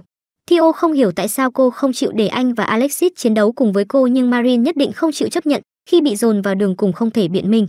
Marin yếu đuối run rẩy trong nước mắt rằng chỉ riêng Alexis, cô không muốn kéo anh vào cuộc chiến này, muốn bảo vệ anh khỏi máu tanh chiến trường. Alexis chẳng mong gì khác ngoài được sát cánh bên người yêu. Anh dẫn cô ra ngoài, cho cô xem đội quân được anh sắp xếp thành hình hoa hồng giống với đóa hoa anh đã xếp trong vườn nhà cô. Anh quỳ xuống cầu hôn Marin, trao cho cô mọi thứ để cô trở thành nữ vương của đời mình. Marin quay đi, cô tự nhận mình không xứng với tình yêu của anh vì đã chót trao lần đầu cho Minza để đổi lấy sức mạnh. Lời này khiến anh hóa đá, nhưng Alexis chỉ để tâm cô có yêu gã đàn ông đó hay không. Marin phủ nhận, từ đầu đến cuối cô không hề có tình cảm với hắn, như vậy với Alexis là quá đủ. Dù cô có chấp nhận hay không thì anh vẫn thương yêu cô bất kể chuyện gì xảy ra. Marin bật khóc vì nghĩ mình phải trả giá cho mạng sống của hàng ngàn người đã hy sinh, cô không có quyền được hạnh phúc. Alexis nắm tay cô và hứa sẽ dùng phần đời còn lại của mình chuộc lỗi cùng cô. Đã đến nước này Men cũng không ngại chia sẻ anh sẽ cưới Siluka bằng mọi giá dù chưa công bố điều này. Siluka bối rối vì ông Men lại huyệt toẹt ra dù hứa sẽ giữ bí mật nhưng cũng đành chịu vì lâu dần cũng quen rồi. Men tin rằng người có tình dù đi hết nửa vòng trái đất rồi cũng sẽ về bên nhau. Nếu thế giới ngăn cản họ yêu nhau anh nguyện viết lại thế giới này. Marin đã bị họ làm cho cảm động, cô hỏi Alexis lần cuối liệu anh có chắc chắn cưới cô không. Alexis bắt đầu một màn cầu hôn xến sẩm hết từ mặt trời đến các vì sao, đại ý là anh sẽ không bao giờ thay đổi. Họ trao nhau nụ hôn khiến binh sĩ hô vang chúc mừng. Marin và Alexis sau đó đều chấp nhận giao thánh ấn vào tay Theo vì họ tin rằng anh là người duy nhất phù hợp lên ngôi hoàng đế, cũng là người duy nhất có khả năng viết lại trật tự thế giới. Siluka khuyên anh chấp nhận lòng thành của hai người họ nên Theo đành miễn cưỡng đồng ý và nhờ Siluka chuyển lời đến khắp lục địa. Lúc này, người đứng đầu học viện ma pháp đã biết về sự thống nhất của ba phe, lão đã dục dịch lên kế hoạch hành động. Lão cử sát thủ truy sát bất cứ pháp sư nào trung thành với chủ nhân hơn là với học viên và âm thầm xử lý họ. Hấp huyết vương Dimitri xuất hiện trong bóng tối phía sau minh chứng liên đới phức tạp của họ. Giáo hoàng cho hay các lãnh chúa đã liên minh với nhau và thành công tạo ra thánh ấn hoàng đế vì vậy học viện ma pháp phải đối đầu trực diện với các lãnh chúa để ngăn chặn kỷ nguyên mới ra đời. Tất cả là để thực hiện ý nguyện của ngài ấy, chủ nhân của bọn họ, thời điểm Dimitri hành động đã tới. Khi Theo và Siluka ngồi bên bờ hồ, họ nhận được tin nhắn từ một pháp sư đang bị sát thủ tấn công. Anh ta đang phát đi thông điệp tới tất cả các pháp sư trên lục địa để nói với họ rằng học viện đã bắt đầu hành động. Họ đã tuyên bố ý định tấn công tất cả các pháp sư trung thành với lãnh chúa và chẳng bao lâu nữa họ sẽ trực tiếp gây chiến với các lãnh chúa. Sau khi nghe xong anh cũng khuyên họ hủy đi pha lê trên đũa thần vì học viện đang lần Theo giấu bọn họ qua nó, học viện bây giờ mới thật sự lộ ra bản chất đen tối vốn có của mình. Theo và các lãnh chúa khác ngay lập tức triệu tập một cuộc họp để thông báo cho về động thái tuyên chiến của học viện ma pháp. Siluka tin rằng học viện không thể để thánh ấn hoàng đế ra đời và sẽ thủ tiêu toàn bộ lãnh chúa, họ chỉ còn cách chiến đấu chống lại chúng. Siluka tuyên bố từ giờ ba phe sẽ thành lập đội quân hoàng gia và tiến đến học viện để dẹp loạn khiến ai nấy đều vui mừng. Theo cảnh báo trận chiến sắp tới sẽ khốc liệt hơn bất kỳ trận chiến nào khác vậy nên ai không muốn chiến tranh có thể rời đi, chẳng một ai nhúc nhích. Edokia thắc mắc ý kiến của các pháp sư thì sao? Các pháp sư đều tuyên bố sẽ trung thành hết mực với lãnh chúa của mình, chỉ có pháp sư khế ước của Alexis không thể tiếp tục chọn lãnh chúa và quyết định về phe học viện. Anh xin phép được hủy bỏ khế ước, Alexis nhẹ nhàng cảm ơn anh và cho phép anh rời đi cùng với những người không muốn chiến đấu. Siluka cảm ơn những người đã chọn ở lại, sau đó cô báo các pháp sư hãy phá hủy đũa phép của mình để tránh bị học viên Theo giấu. Dù biết mất đi đũa phép sẽ khó điều khiển ma pháp hơn nhưng họ tình nguyện làm Theo dẫn dắt, đập vỡ đũa phép để cắt đuôi học viện cũng như chứng minh lòng trung thành và quyết tâm chống lại học viện của mình. Sau thời gian dài, Siluka đã có thể ngồi chung chiến tuyến với cha nuôi bàn về chiến thuật. Một lượng lớn pháp sư và lãnh chúa đã rời bỏ chiến sự nên cuộc chiến này với họ càng cam go hơn. Siluka lo ngại không có đũa phép sẽ khiến việc giao tiếp trên chiến trường trở nên khó khăn hơn nhưng cha cô động viên cô tự tạo ra cách của mình vì bây giờ cô đã là trưởng pháp sư quân hoàng gia. Nghĩ tới lần đầu được làm việc cùng cha, thậm chí còn là cấp trên của ông khiến Siluka không nén nổi vui mừng. Đột nhiên Aisela đến lều tìm Siluka, cô nàng lén chua xót khi nhìn thấy Albert. Siluka mời cô ngồi xuống cùng họp và thuyết phục cô hãy tha thứ cho cha nuôi vì đã cố giết Siluka một lần nhưng Aisela không chịu. Ngày đó Siluka đã phá vỡ quy tắc của học viện để giải thoát cho Quảng thượng khỏi giam cầm nên mới bị phạt, Quảng thượng nghe nhắc tới mình liền chi ra. Aisela cũng không thể ngờ hiệu trưởng học viện ma pháp lại kiên quyết đòi giết Siluka vào hôm ấy còn Anbeck thì tuân lệnh thay vì bảo vệ mạng sống cho con gái mình. Siluka cảm ơn Aisela vì đã đưa cô nàng chạy thoát thậm chí từ bỏ tương lai trở thành pháp sư chỉ vì cô. Isela chỉ trích Anbeck đây là điều lẽ ra ông ta phải làm vì con gái và thắc mắc rốt cuộc bọn họ với ông xem là gì. Anbeck luôn tự hào và xem họ như hai đứa con gái quý giá của mình. Siluka hạnh phúc ôm chầm lấy ông nhưng Isela chua chát nhớ rằng cô đã không còn là thành viên của nhà Merlis nữa. Trở về lều Siluka chìm vào giấc ngủ và nghĩ rằng thật tuyệt khi được dành thời gian bên gia đình lần nữa. Đột nhiên cô nghe thấy tiếng Isela gọi và bất ngờ khi ra ngoài cô bạn thân đã tấn công cô. May mắn thay Irvin đã cảnh giác kịp thời bảo vệ Siluka. Khi bị chất vấn tại sao làm như vậy, Aisela chua xót tiết lộ đã làm gián điệp cho học viện suốt thời gian qua. Học viện để mắt tới Siluka nên cô đã thông báo nhất cử nhất động của bạn thân về cho học viện. Priscilla ngái ngủ tìm đến vì tiếng động nhưng may mắn cô nàng không nằm trong diện mục tiêu của Aisela. Theo gọi mọi người vào lều nói chuyện để tránh gây náo động. Aisela bị trói và bị yêu cầu giải thích. Cô kể cho họ nghe về tổ chức bí mật của học viện đã ra lệnh cho cô giết Siluka và sau đó là cả Theo. Kết quả là cô nàng đã thất bại, nhưng Theo đã nhìn thấu cô và biết cô cố ý không thành công. Anh thắc mắc tại sao cô nàng không bỏ qua mệnh lệnh nếu như không muốn làm. Aisela sau đó tiết lộ đã bị niệm chú lên người, nếu làm trái lời của hội kín ma pháp này sẽ khiến tim cô ngừng đập. Ma chú đột nhiên có tác dụng khiến Aisela quằn quại trong đau đớn. Theo và Ervin không ngăn được Siluka, Siluka vội tìm cây đũa phép để làm phép giải thuật nhưng cây đũa sớm bị chính cô phá vỡ. Không còn cách nào khác để cứu lấy Aisela, Siluka hoảng sợ ôm chầm lấy cô bạn khóc nấc lên. Đột nhiên Priscilla lại như bị mộng du tuyên bố sứ mệnh của Aisela không được chết ở đây. Cô nàng triệu hồi thánh ấn chữa trị của Aisela, thanh lọc ma pháp sau đó gục xuống tỉnh ngủ. Siluka ôm chầm lấy cô cảm ơn. Aisela không hiểu cô nàng đã làm gì để cứu mạng mình nhưng giờ đây cô cũng mất đi quỷ ấn nên không còn khả năng tiễn người khác xuống cõi niết bàn nữa. Aisela biết mình sẽ phải đối mặt với án tử hình vì dám hành thích hoàng đế nhưng Theo cho rằng cô đã cố tình thất bại nên không được tính. Anh yêu cầu cô nàng tiết lộ hết những gì mình biết về hội kín. Chính hội kín Pandora là kẻ đã giúp Hắc phù thủy Iana triệu hồi quỷ vương trong thảm kịch đại sảnh. Chúng tìm cách kiểm soát hỗn độn và ngăn chặn các quý tộc loại bỏ hỗn độn vì khi đó cả thánh ấn và ma pháp đều sẽ không còn tồn tại. Pandora mang triết lý sáng lập sơ khai của học viện là hành thích các lãnh chúa đến gần ngôi hoàng đế. Siluka không thể hiểu tại sao học viện ma pháp lại cố gắng duy trì hỗn độn. Cô cảm thấy rằng lo sợ mất đi ma pháp thôi cũng chưa phải là lý do chính đáng để họ điên cuồng thiêu đuổi lý tưởng đó. Isela cho biết Pandora có nhiều thành viên hơn họ tưởng tượng rất nhiều. Đột nhiên họ nhận được thông báo nhiều lãnh chúa và các văn nhân đột nhiên như phát điên trong doanh trại quân đội hoàng gia. Theo nhận ra họ có thể chính là thành viên của hội kín nên phải nhanh chóng xử lý tình hình. Aisela cũng muốn giúp đỡ nhưng Siluka đã ôm chầm lấy cô bạn từ phía sau. Theo rời đi để hai người thoải mái bày tỏ tình cảm. Sau cuộc chiến kéo dài cả đêm, những người đột nhiên hóa điên đều bị đánh bại. Sự việc này không khác gì một thảm kịch thứ hai khiến các lãnh chúa ái ngại. Theo thắc mắc liệu thánh ấn hoàng đế là thứ đe dọa học viện đến nỗi khiến họ đi xa tới mức này hay còn mục đích nào khác. Alexis cũng muốn biết câu trả lời nhưng Marin cho rằng lúc này họ nên tập trung vào cuộc chiến với học viện ma pháp. Albert cho rằng họ chưa chuẩn bị đủ cho cuộc chiến nhưng Theo biết lúc này không còn lựa chọn nào khác. Dưới sự ủng hộ của nhân dân, anh quyết định tiến quân về Iramu càng nhanh càng tốt. Phía giáo đoàn cũng đã sẵn sàng tham chiến, họ tin rằng đám quý tộc lãnh chúa chẳng có gì ngoài cái vỏ bọc đồi bại chỉ biết đánh đấm lẫn nhau và không làm Theo lời dân của chúa. Giáo hoàng đặc biệt nhấn mạnh Theo là nguồn cơn của tội lỗi, vì đem lòng muốn độc chiếm lục địa cho riêng mình dù hắn cũng kích hoạt thánh ấn tạo ra chiến kỳ ban sức mạnh cho người mình giống hệt Theo đã làm. Rất nhanh quân đội của giáo đoàn đã giáp mặt với đội quân hoàng gia, phe hoàng gia không hiểu tại sao giáo đoàn trở mặt với họ nhanh đến thế. Chỉ có thể giải thích rằng giáo đoàn và học viện có dính líu với nhau nên giáo đoàn mới ngăn hoàng gia quân đến học viện. Albert đã phát hiện ra rằng đội quân của giáo đoàn chỉ có vài nghìn binh lính và lính đánh thuê nhưng họ có một lượng lớn tín đồ chủ yếu là phụ nữ, trẻ em và người già. Thành binh với lính đánh thuê là một chuyện nhưng Theo không muốn làm hại người dân vô tội. Priscilla bất ngờ tuyên bố ý của Chúa Trời không phải là chiến tranh, cô tình nguyện đến gặp và thuyết phục giáo hoàng để khiến ông đổi ý. Theo phản đối vì điều này quá nguy hiểm. Anh lo sợ giáo hoàng sẽ tấn công cô vì Priscilla là chén thánh thực sự thế nhưng Priscilla nhất quyết muốn là người đàm phán vì đây chính là sứ mệnh của cô. Siluka đồng ý đề nghị của Priscilla, sớm muộn gì họ cũng phải giao chiến với đội quân giáo đoàn nên nếu có thể ngăn cuộc chiến xảy ra thì đáng để thử. Men không sẵn sàng để cô mạo hiểm một mình vì vậy Siluka tình nguyện đi cùng cô nàng. Lúc này giáo hoàng và các lãnh đạo phe giáo đoàn đang họp. Họ lo ngại vì sĩ khí quân giáo đoàn không cao khi biết tin phải đối mặt với quân đội hoàng gia của Theo, người được coi là anh hùng của lục địa. Cũng chính vì Priscilla phục tùng Theo nên anh mới có được chừng đó danh vọng. Giáo hoàng muốn biết họ có bao nhiêu phần trăm cơ hội thắng cuộc nhưng các lãnh đạo đều cho rằng không có cửa. Một tên khốn nạn đề xuất để các tín đồ làm bia đỡ đạn cho quân hoàng gia tàn sát từ đó hủy hoại danh tiếng anh hùng của Theo. Tên giáo hoàng cũng hứng thú với đề nghị dơ bẩn này nên lệnh cho quân đội sẵn sàng tiến đánh quân hoàng gia cùng với các tín đồ vào ngày mai. Mặt khác, Theo chúc Siluka và Priscilla những điều may mắn nhất khi họ rời đi để đàm phán hòa bình với giáo hoàng. Siluka hiện đang sử dụng cây chổi được các bạch phù thủy tặng để dễ dàng sử dụng ma pháp hơn.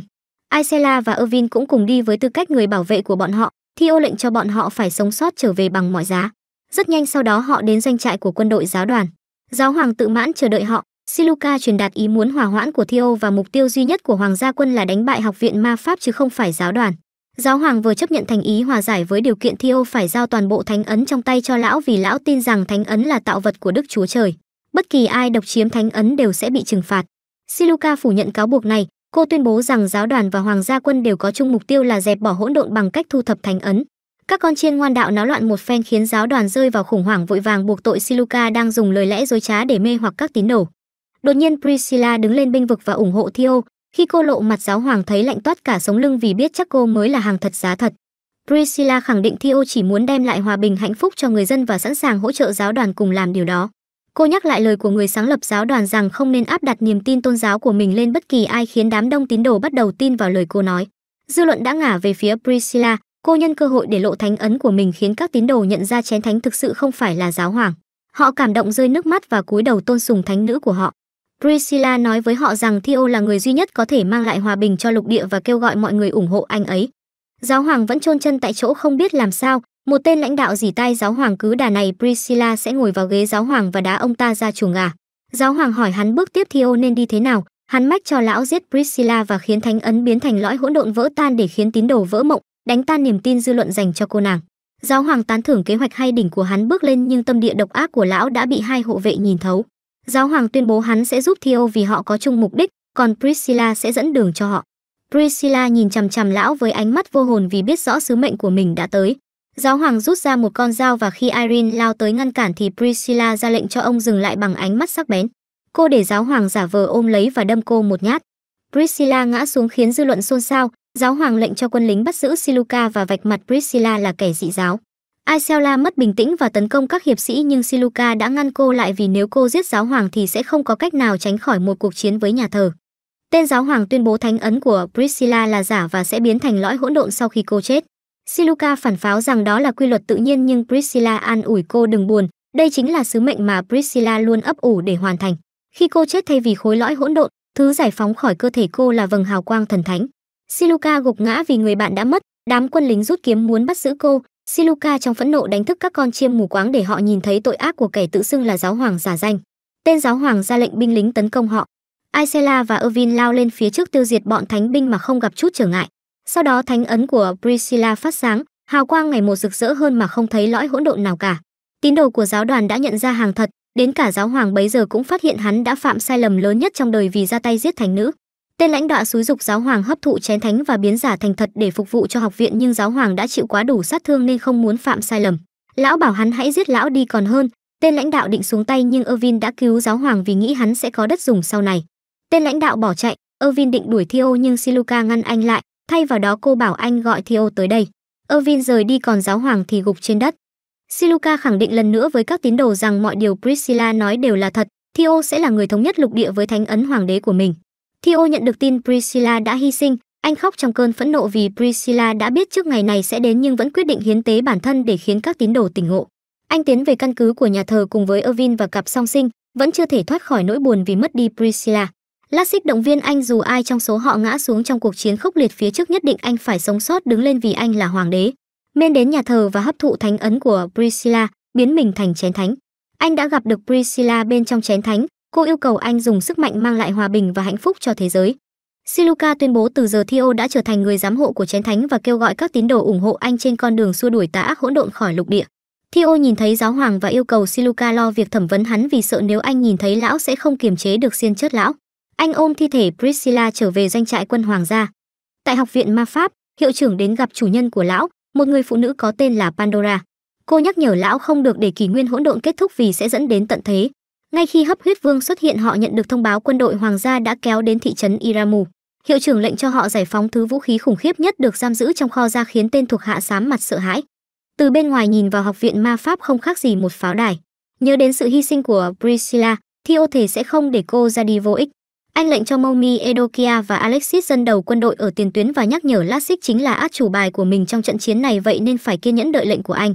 Theo ra lệnh cho quân đội của mình tấn công, nhưng trước khi họ kịp làm điều đó thì một viên pha lê ma thuật khổng lồ lăn xuống từ học viện ma pháp. Pháp sư của Lasik đã nhận ra thứ xuất hiện chính là độc nhãn cự nhân Cyclops, huyền thoại từng tấn công học viện nhưng bị bắt lại và phong ấn làm thí nghiệm. Đám pháp sư của học viện bao vây cái kén và giải phong ấn cho con quái vật. Ngay khi được phá phong ấn con quái vật phá tan xiềng xích và giết chết, những pháp sư đã giải phong ấn cho nó. Lasik không khỏi run lên vì phấn khích kèm sợ hãi và hỏi pháp sư của mình có cách nào để đánh bại con độc nhãn cự nhân hay không. Pháp sư cho rằng đánh nhau với con cự nhân chẳng khác nào tự sát nhưng Lasik dường như quyết tâm nên anh đành tiết lộ trong các ghi chép có viết lại rằng các pháp sư đã đánh bại nó bằng cách sử dụng thấu kính làm mù mắt nó. Lasik cảm ơn trời Phật vì pháp sư của mình cũng là một chuyên gia dùng phát quang. Anh pháp sư cũng đành bất lực đồng hành cùng lãnh chúa của mình để đánh bại con cự nhân. Lasik thông báo với Theo nhưng Siluka cật lực ngăn cản vì chẳng khác nào tìm chết. Theo biết rằng Lasik sẽ không dừng tay kể cả khi anh không đồng ý. Siluka phản đối vì Lasik là một trong những chiến binh mạnh nhất của họ và là át chủ bài trong các cuộc chiến sắp tới nhưng Men cho rằng nếu không đồng ý thì chính là không tin tưởng chư hầu của mình. Lasik dẫn đầu nhóm của mình đuổi Theo con quái vật, anh tình nguyện làm mồi nhử để những người còn lại chuẩn bị trợ chiến. Anh đã luôn ngưỡng mộ Theo vì tiến bộ mỗi ngày để ngồi vào ngôi hoàng đế và bây giờ đến lượt anh chứng minh rằng mình xứng đáng để được phụng sự cho một người tuyệt vời như anh ấy. Anh và các văn nhân của mình thành công thu hút sự chú ý của con quái vật. Họ phân tán sự chú ý của con quái vật trong khi pháp sư niệm chú tập trung ánh sáng cho đòn phản quang mang tính quyết định. Lasik kích hoạt thánh ấn của mình và lao về phía con quái vật tặng cho nó một nhát chém sâu vào chân. Con quái vật thấy đau như kiến cắn tức giận đuổi theo anh. Cung thủ của anh đã mai phục sẵn bắn vào mắt nó để ngăn chặn nhưng những mũi tên không thể đâm xuyên vào con mắt nó. Lasik nhân cơ hội trèo lên cơ thể con quái vật định đâm mù mắt nó nhưng con quái vật hất tung anh ra và chuẩn bị trả đũa bằng một đòn chí mạng. May nhờ anh trai người sắt lao đến đỡ đòn cho anh hất anh khỏi nguy hiểm. Con cự nhân bắt được anh người sắt định cho vào mồm nhai nhưng anh đã nhanh chóng hóa cứng cơ thể mình để không chịu tổn hại. Lassik tấn công nó và cắt đứt một trong những ngón chân của nó khiến Cyclops càng tức giận hơn và nó đập người lính đánh thuê xuống đất và đánh anh ta liên tục. Mãi cũng đợi được đến lúc pháp sư chuẩn bị xong phép thuật của mình, Lassik thu hút sự chú ý của con quái vật và ném thanh kiếm của mình để đánh lạc hướng nó đồng thời ra hiệu cho pháp sư tấn công. Anh chiếu đèn Trung Quốc cực sáng vào mắt con quái vật làm nó mù ngay lập tức loạn choạng ngã xuống đất. Lassik cưỡi ngựa trèo lên mình con quái vật và đâm nó bằng mũi giáo được phủ thánh ấn bằng toàn bộ sức bình sinh của mình. Lassik gào lớn lấy đà xiên ngọn giáo vào cơ thể con cự nhân, kết thúc vòng đời bi thảm của nó. Lassik sau đó không chần chừ lao đi tìm anh người sắt. Họ phát hiện trái tim anh đã ngừng đập, pháp sư bật khóc vì anh nhưng cung thủ nhẹ nhàng vỗ nhẹ vào cơ thể sắt đá của anh khiến anh trai đột nhiên tỉnh dậy một cách thần kỳ. Pháp sư mừng rớt nước mắt vì đội trưởng còn sống. Anh giải thích mỗi khi hóa cứng cơ thể thì lục phủ ngũ tạng của anh cũng cứng thiêu để không bị tổn thương. Anh hỏi con cự nhân đâu rồi thở phào vì biết lát xích đã đá bay nó lên bàn thờ. Quân hoàng gia hô vang ăn mừng chiến thắng của chiến thần diệt cự nhân. Đêm xuống, thời khắc chiến tranh với học viện ma pháp nổ ra mở đầu bằng cuộc chiến dưới sự chỉ huy của Alexis. Silica dẫn đầu các pháp sư và bắn những quả cầu lửa để soi đường đi của họ trong khi quân đội tiến về phía trước với ánh sáng rực rỡ. Quân đội của học viện bắn đại bác vào họ nhưng họ chỉ phá hủy được các tháp giả. Quân đế quốc áp dụng chiến thuật đánh rồi bỏ chạy bằng cách tấn công và rút lui nhanh chóng để tiêu diệt quân học viện trước khi cho chúng cơ hội tấn công. Marin chỉ huy các tiễn thủ dùng đạn thánh ấn bắn hạ các bức tường kiên cố của học viện. Chỉ huy của quân học viện buộc binh lính tiếp tục nã pháo mặc kệ cho thân pháo đã nóng đến mức không thể chịu được nữa. Các khẩu đại bác cuối cùng phát nổ, gây sát thương cho chính phe học viện. Trong khi đó, quân đội hoàng gia lén lút trèo qua tường và tấn công kẻ thù, buộc tên đội trưởng không còn cách nào khác phải đầu hàng. Cổng thành kể cả khi thành phố hoàn toàn sụp đổ thì cũng phải giết cho bằng được hoàng đế Theo vì lão tin rằng chỉ cần anh chết thì kỷ nguyên hỗn độn sẽ lại tiếp tục. Thất thủ, tin tức được gửi đến cho hiệu trưởng. Phía quân đội hoàng gia dành một phút mặc niệm cho những người lính đang ngã xuống của mình trong trận chiến trước khi ra lệnh đánh chiếm thành phố. Theo cũng muốn tham gia trận chiến nhưng Siluka ngăn cản anh vì mọi người đều cần anh được an toàn để giành chiến thắng trong trận chiến này, anh đương nhiên biết rất rõ. Đột nhiên Theo và Siluka thấy mình đang ở trong khu rừng bóng tối vĩnh cửu, khi khi tự hỏi có chuyện gì đang xảy ra Siluka nhìn lên trăng máu và nhận ra họ đã bị hấp huyết vương dịch chuyển tới đây. May mắn thay họ không cô đơn mà còn có những người bảo vệ cùng nhau tiến về lâu đài của hấp huyết vương. Dimitri chào đón những vị khách bằng một màn trình diễn piano kinh dị hơn cả tiếng violon của Suka. Hắn giao giảng về quá khứ suốt thời hỗn độn tối thượng, nhân loại đã đồng đồng chiến đấu chống lại hỗn độn nhưng khi hỗn độn dần biến mất loài người ngu ngốc lại cắn xé lẫn nhau. Nếu cứ như vậy liệu khi hỗn độn hoàn toàn biến mất điều gì sẽ xảy ra? Theo biết chắc chắn dù là trong thời bình thì cũng vẫn sẽ có chiến tranh nhưng đó là quyết định của con người ở thời đại mới. Hấp huyết quỷ muốn duy trì mãi sự trường sinh của mình vì vậy hắn buộc phải đánh bại Theo. Aisela khẳng định kể cả không có quỷ ấn, không có sức mạnh từ hỗn độn cô vẫn sẽ không ngần ngại bảo vệ em gái mình. Aisela tấn công Dimitri nhưng đột nhiên lại bị dịch chuyển đến nơi toàn là đầu lâu xương sọ. Cặp song sinh cũng nhân tiện trả thù cho mẹ và lao lên nhưng hắn dễ dàng né được đòn. Đột nhiên thủ lĩnh mới của tộc người sói xuất hiện mang theo quan tài chứa thi thể thật của hấp huyết quỷ vương và khẳng định tên trước mắt họ chỉ là một phân thân. Một khi giết chết cơ thể thật hắn cũng sẽ tan biến. Dimitri bật cười trước giả thuyết của anh, họ lần nữa bị dịch chuyển vào một không gian với rất nhiều phân thân khác của hắn. Hắn chế nhạo anh người sói ngu ngốc vì không cần cơ thể thật hắn vẫn có thể sống sót. Người sói không tin, anh đâm xuyên tim cơ thể thật của hắn nhưng cơ thể hắn tan thành bụi biến mất. Dimitri ngạo nghễ chế nhạo, các phân thân của hắn không ngừng lao vào tấn công anh và mọi người, những phân thân này thậm chí còn hút đi sinh lực của người chúng chạm vào khiến họ suy yếu. Aisela mất cảnh giác khi bảo vệ Siluka và bị hút đi sinh lực, may có Ervin vẫn luôn cảnh giác. Ba người thi nhau xé nát các phân thân của hắn nhưng tên ma cà rồng liên tục đẻ như gà công nghiệp. Anh chị em người sói kết hợp với nhau tấn công bản sao chính nhưng lại rơi vào bẫy của hắn và bị bản sao hút cạn sinh lực. Cuối cùng chỉ còn lại Theo và Siluka, tên ma cà rồng quyết định kết thúc trò chơi bằng cách nhận chìm người chơi vào biển máu hỗn độn. Người bị nhấn chìm đều bị hút cạn sinh lực, Theo và Siluka đưa tay với lấy nhau, thời khắc họ chạm vào nhau sức mạnh tình yêu và thánh ấn phút chốc xua tan ảo ảnh. Họ nghe thấy giọng nói của Priscilla trấn an họ, chén thánh trỗi dậy từ cơ thể men đốt cháy tên ma cà rồng. Ảo ảnh của hắn tan vỡ, mọi người trở lại sảnh chính của lâu đài. Dưới sức mạnh của chén thánh tên ma cà rồng không thể tạo thêm bất kỳ bản sao nào nữa, đã đến lúc diệt trừ hắn. Thủ lĩnh người sói cắn chất vào cổ hắn nhưng tên ma cà rồng cũng đáp trả bằng móng vuốt sắc nhọn để hấp thụ quỷ ấn của anh. Chị em người sói lao đến cắt đứt tay hắn khiến hắn rụng như chim gãy cánh. Mên kích hoạt thánh ấn vào thanh kiếm của mình tung đòn cuối cùng xuyên tim tên ma cà rồng, hắn phát nổ vì năng lượng hỗn độn trong cơ thể mất kiểm soát khiến Theo bị hất văng đi. Anh vẫn ổn nhưng thủ lĩnh người sói đã mất mạng trong trận chiến khiến hai cô em gái vô cùng thương tâm. Một trong những bản sao của Dimitri vẫn sống sót nhưng hắn quá yếu đuối và thảm hại khiến cặp song sinh lười không muốn động tay vì tên này chắc chắn không phải người đã hại chết mẫu thân của họ. Họ không muốn ra tay với kẻ như vậy. Lõi hỗn độn của anh trai phân tán cho hai đứa em gái. Họ quay lại học viện ma pháp, Theo lãnh đạo quân đội của mình và chinh phục thành phố học viện. Sau khi đến được sảnh chính của học viện cùng với Siluka, anh chất vấn tên hiệu trưởng về mục đích ngăn chặn thánh ấn hoàng đế ra đời của học viện. Tên hiệu trưởng bảo anh hãy chạm vào tháp ma thuật trước mặt nếu muốn biết đầu đuôi câu chuyện. Siluka nghi ngờ đó là cái bẫy nhưng Theo không muốn bỏ qua cơ hội nên cô quyết định sẽ đi cùng anh. Họ chạm tay vào tháp và bất ngờ bị đưa vào bóng tối vĩnh cửu. Pandora giới thiệu mình và yêu cầu họ không được kết thúc kỷ nguyên hỗn độn. Để giải thích lý do Pandora cho họ xem hình ảnh về một nền văn minh siêu tiên tiến trước khi thời đại hỗn độn bùng nổ. Cảnh tượng này nằm ngoài sự tưởng tượng của tất cả mọi người không ai nghĩ rằng nền văn minh này đã thật sự tồn tại trong quá khứ. Tuy nhiên Pandora nói với họ rằng nền văn minh mà họ nhìn thấy hiện tại là một trái đất siêu tương lai. Con người đạt được sức mạnh to lớn thông qua công nghệ nhưng họ đã sử dụng nó để hủy diệt và phá hủy các hành tinh vì chiến tranh. Pandora tuyên bố rằng để ngăn cản con người đạt được khả năng làm chủ năng lượng tối thượng vượt xa cả năng lượng hạt nhân. Pandora đã quyết định gieo rắc sự hỗn loạn trên khắp thế giới để nền văn minh không bao giờ có thể phát triển vượt quá một điểm nhất định. Bằng cách đó, cô tin rằng trái đất sẽ không bị hủy diệt, nhưng Theo không hề vui mừng vì quyết định này. Pandora biến mất nhưng luôn lặp lại thông điệp của mình không được để kỷ nguyên hỗn độn kết thúc. Hai người trở lại hội trường, hiệu trưởng khẳng định đó là lý do học viên luôn ngăn chặn thánh ấn hoàng đế ra đời. Theo phản đối ý kiến này và cho rằng dù tương lai ra sao cũng không thể bắt người hiện tại trách nhiệm cho thứ chưa xảy ra và cả những người chưa ra đời. Anh vẫn kiên quyết chọn chấm dứt kỷ nguyên hỗn độn, Siluka cũng ủng hộ anh. Hiệu trưởng đã nhận được câu trả lời của hoàng đế, ông ta cắn thuốc độc tự vẫn. Theo không biết làm sao hơn là bày tỏ kính trọng với tiền bối và gọi các đồng minh của mình vào hội trường. Lễ đăng quang của Theo diễn ra dưới không khí nô nức náo nhiệt của người dân toàn thành phố. Anh tuyên thệ trước nhân dân sẽ đem hòa bình và thịnh vượng đến cho họ. Anh yêu cầu các lãnh chúa tập hợp thánh ấn cho mình để chấm dứt vĩnh viễn kỷ nguyên hỗn độn bằng cách tạo ra thánh ấn hoàng đế. Ba năm sau Theo quả thật đã thực hiện lời hứa và mang hòa bình đến khắp lục địa, muôn dân chăm họ đều vui mừng.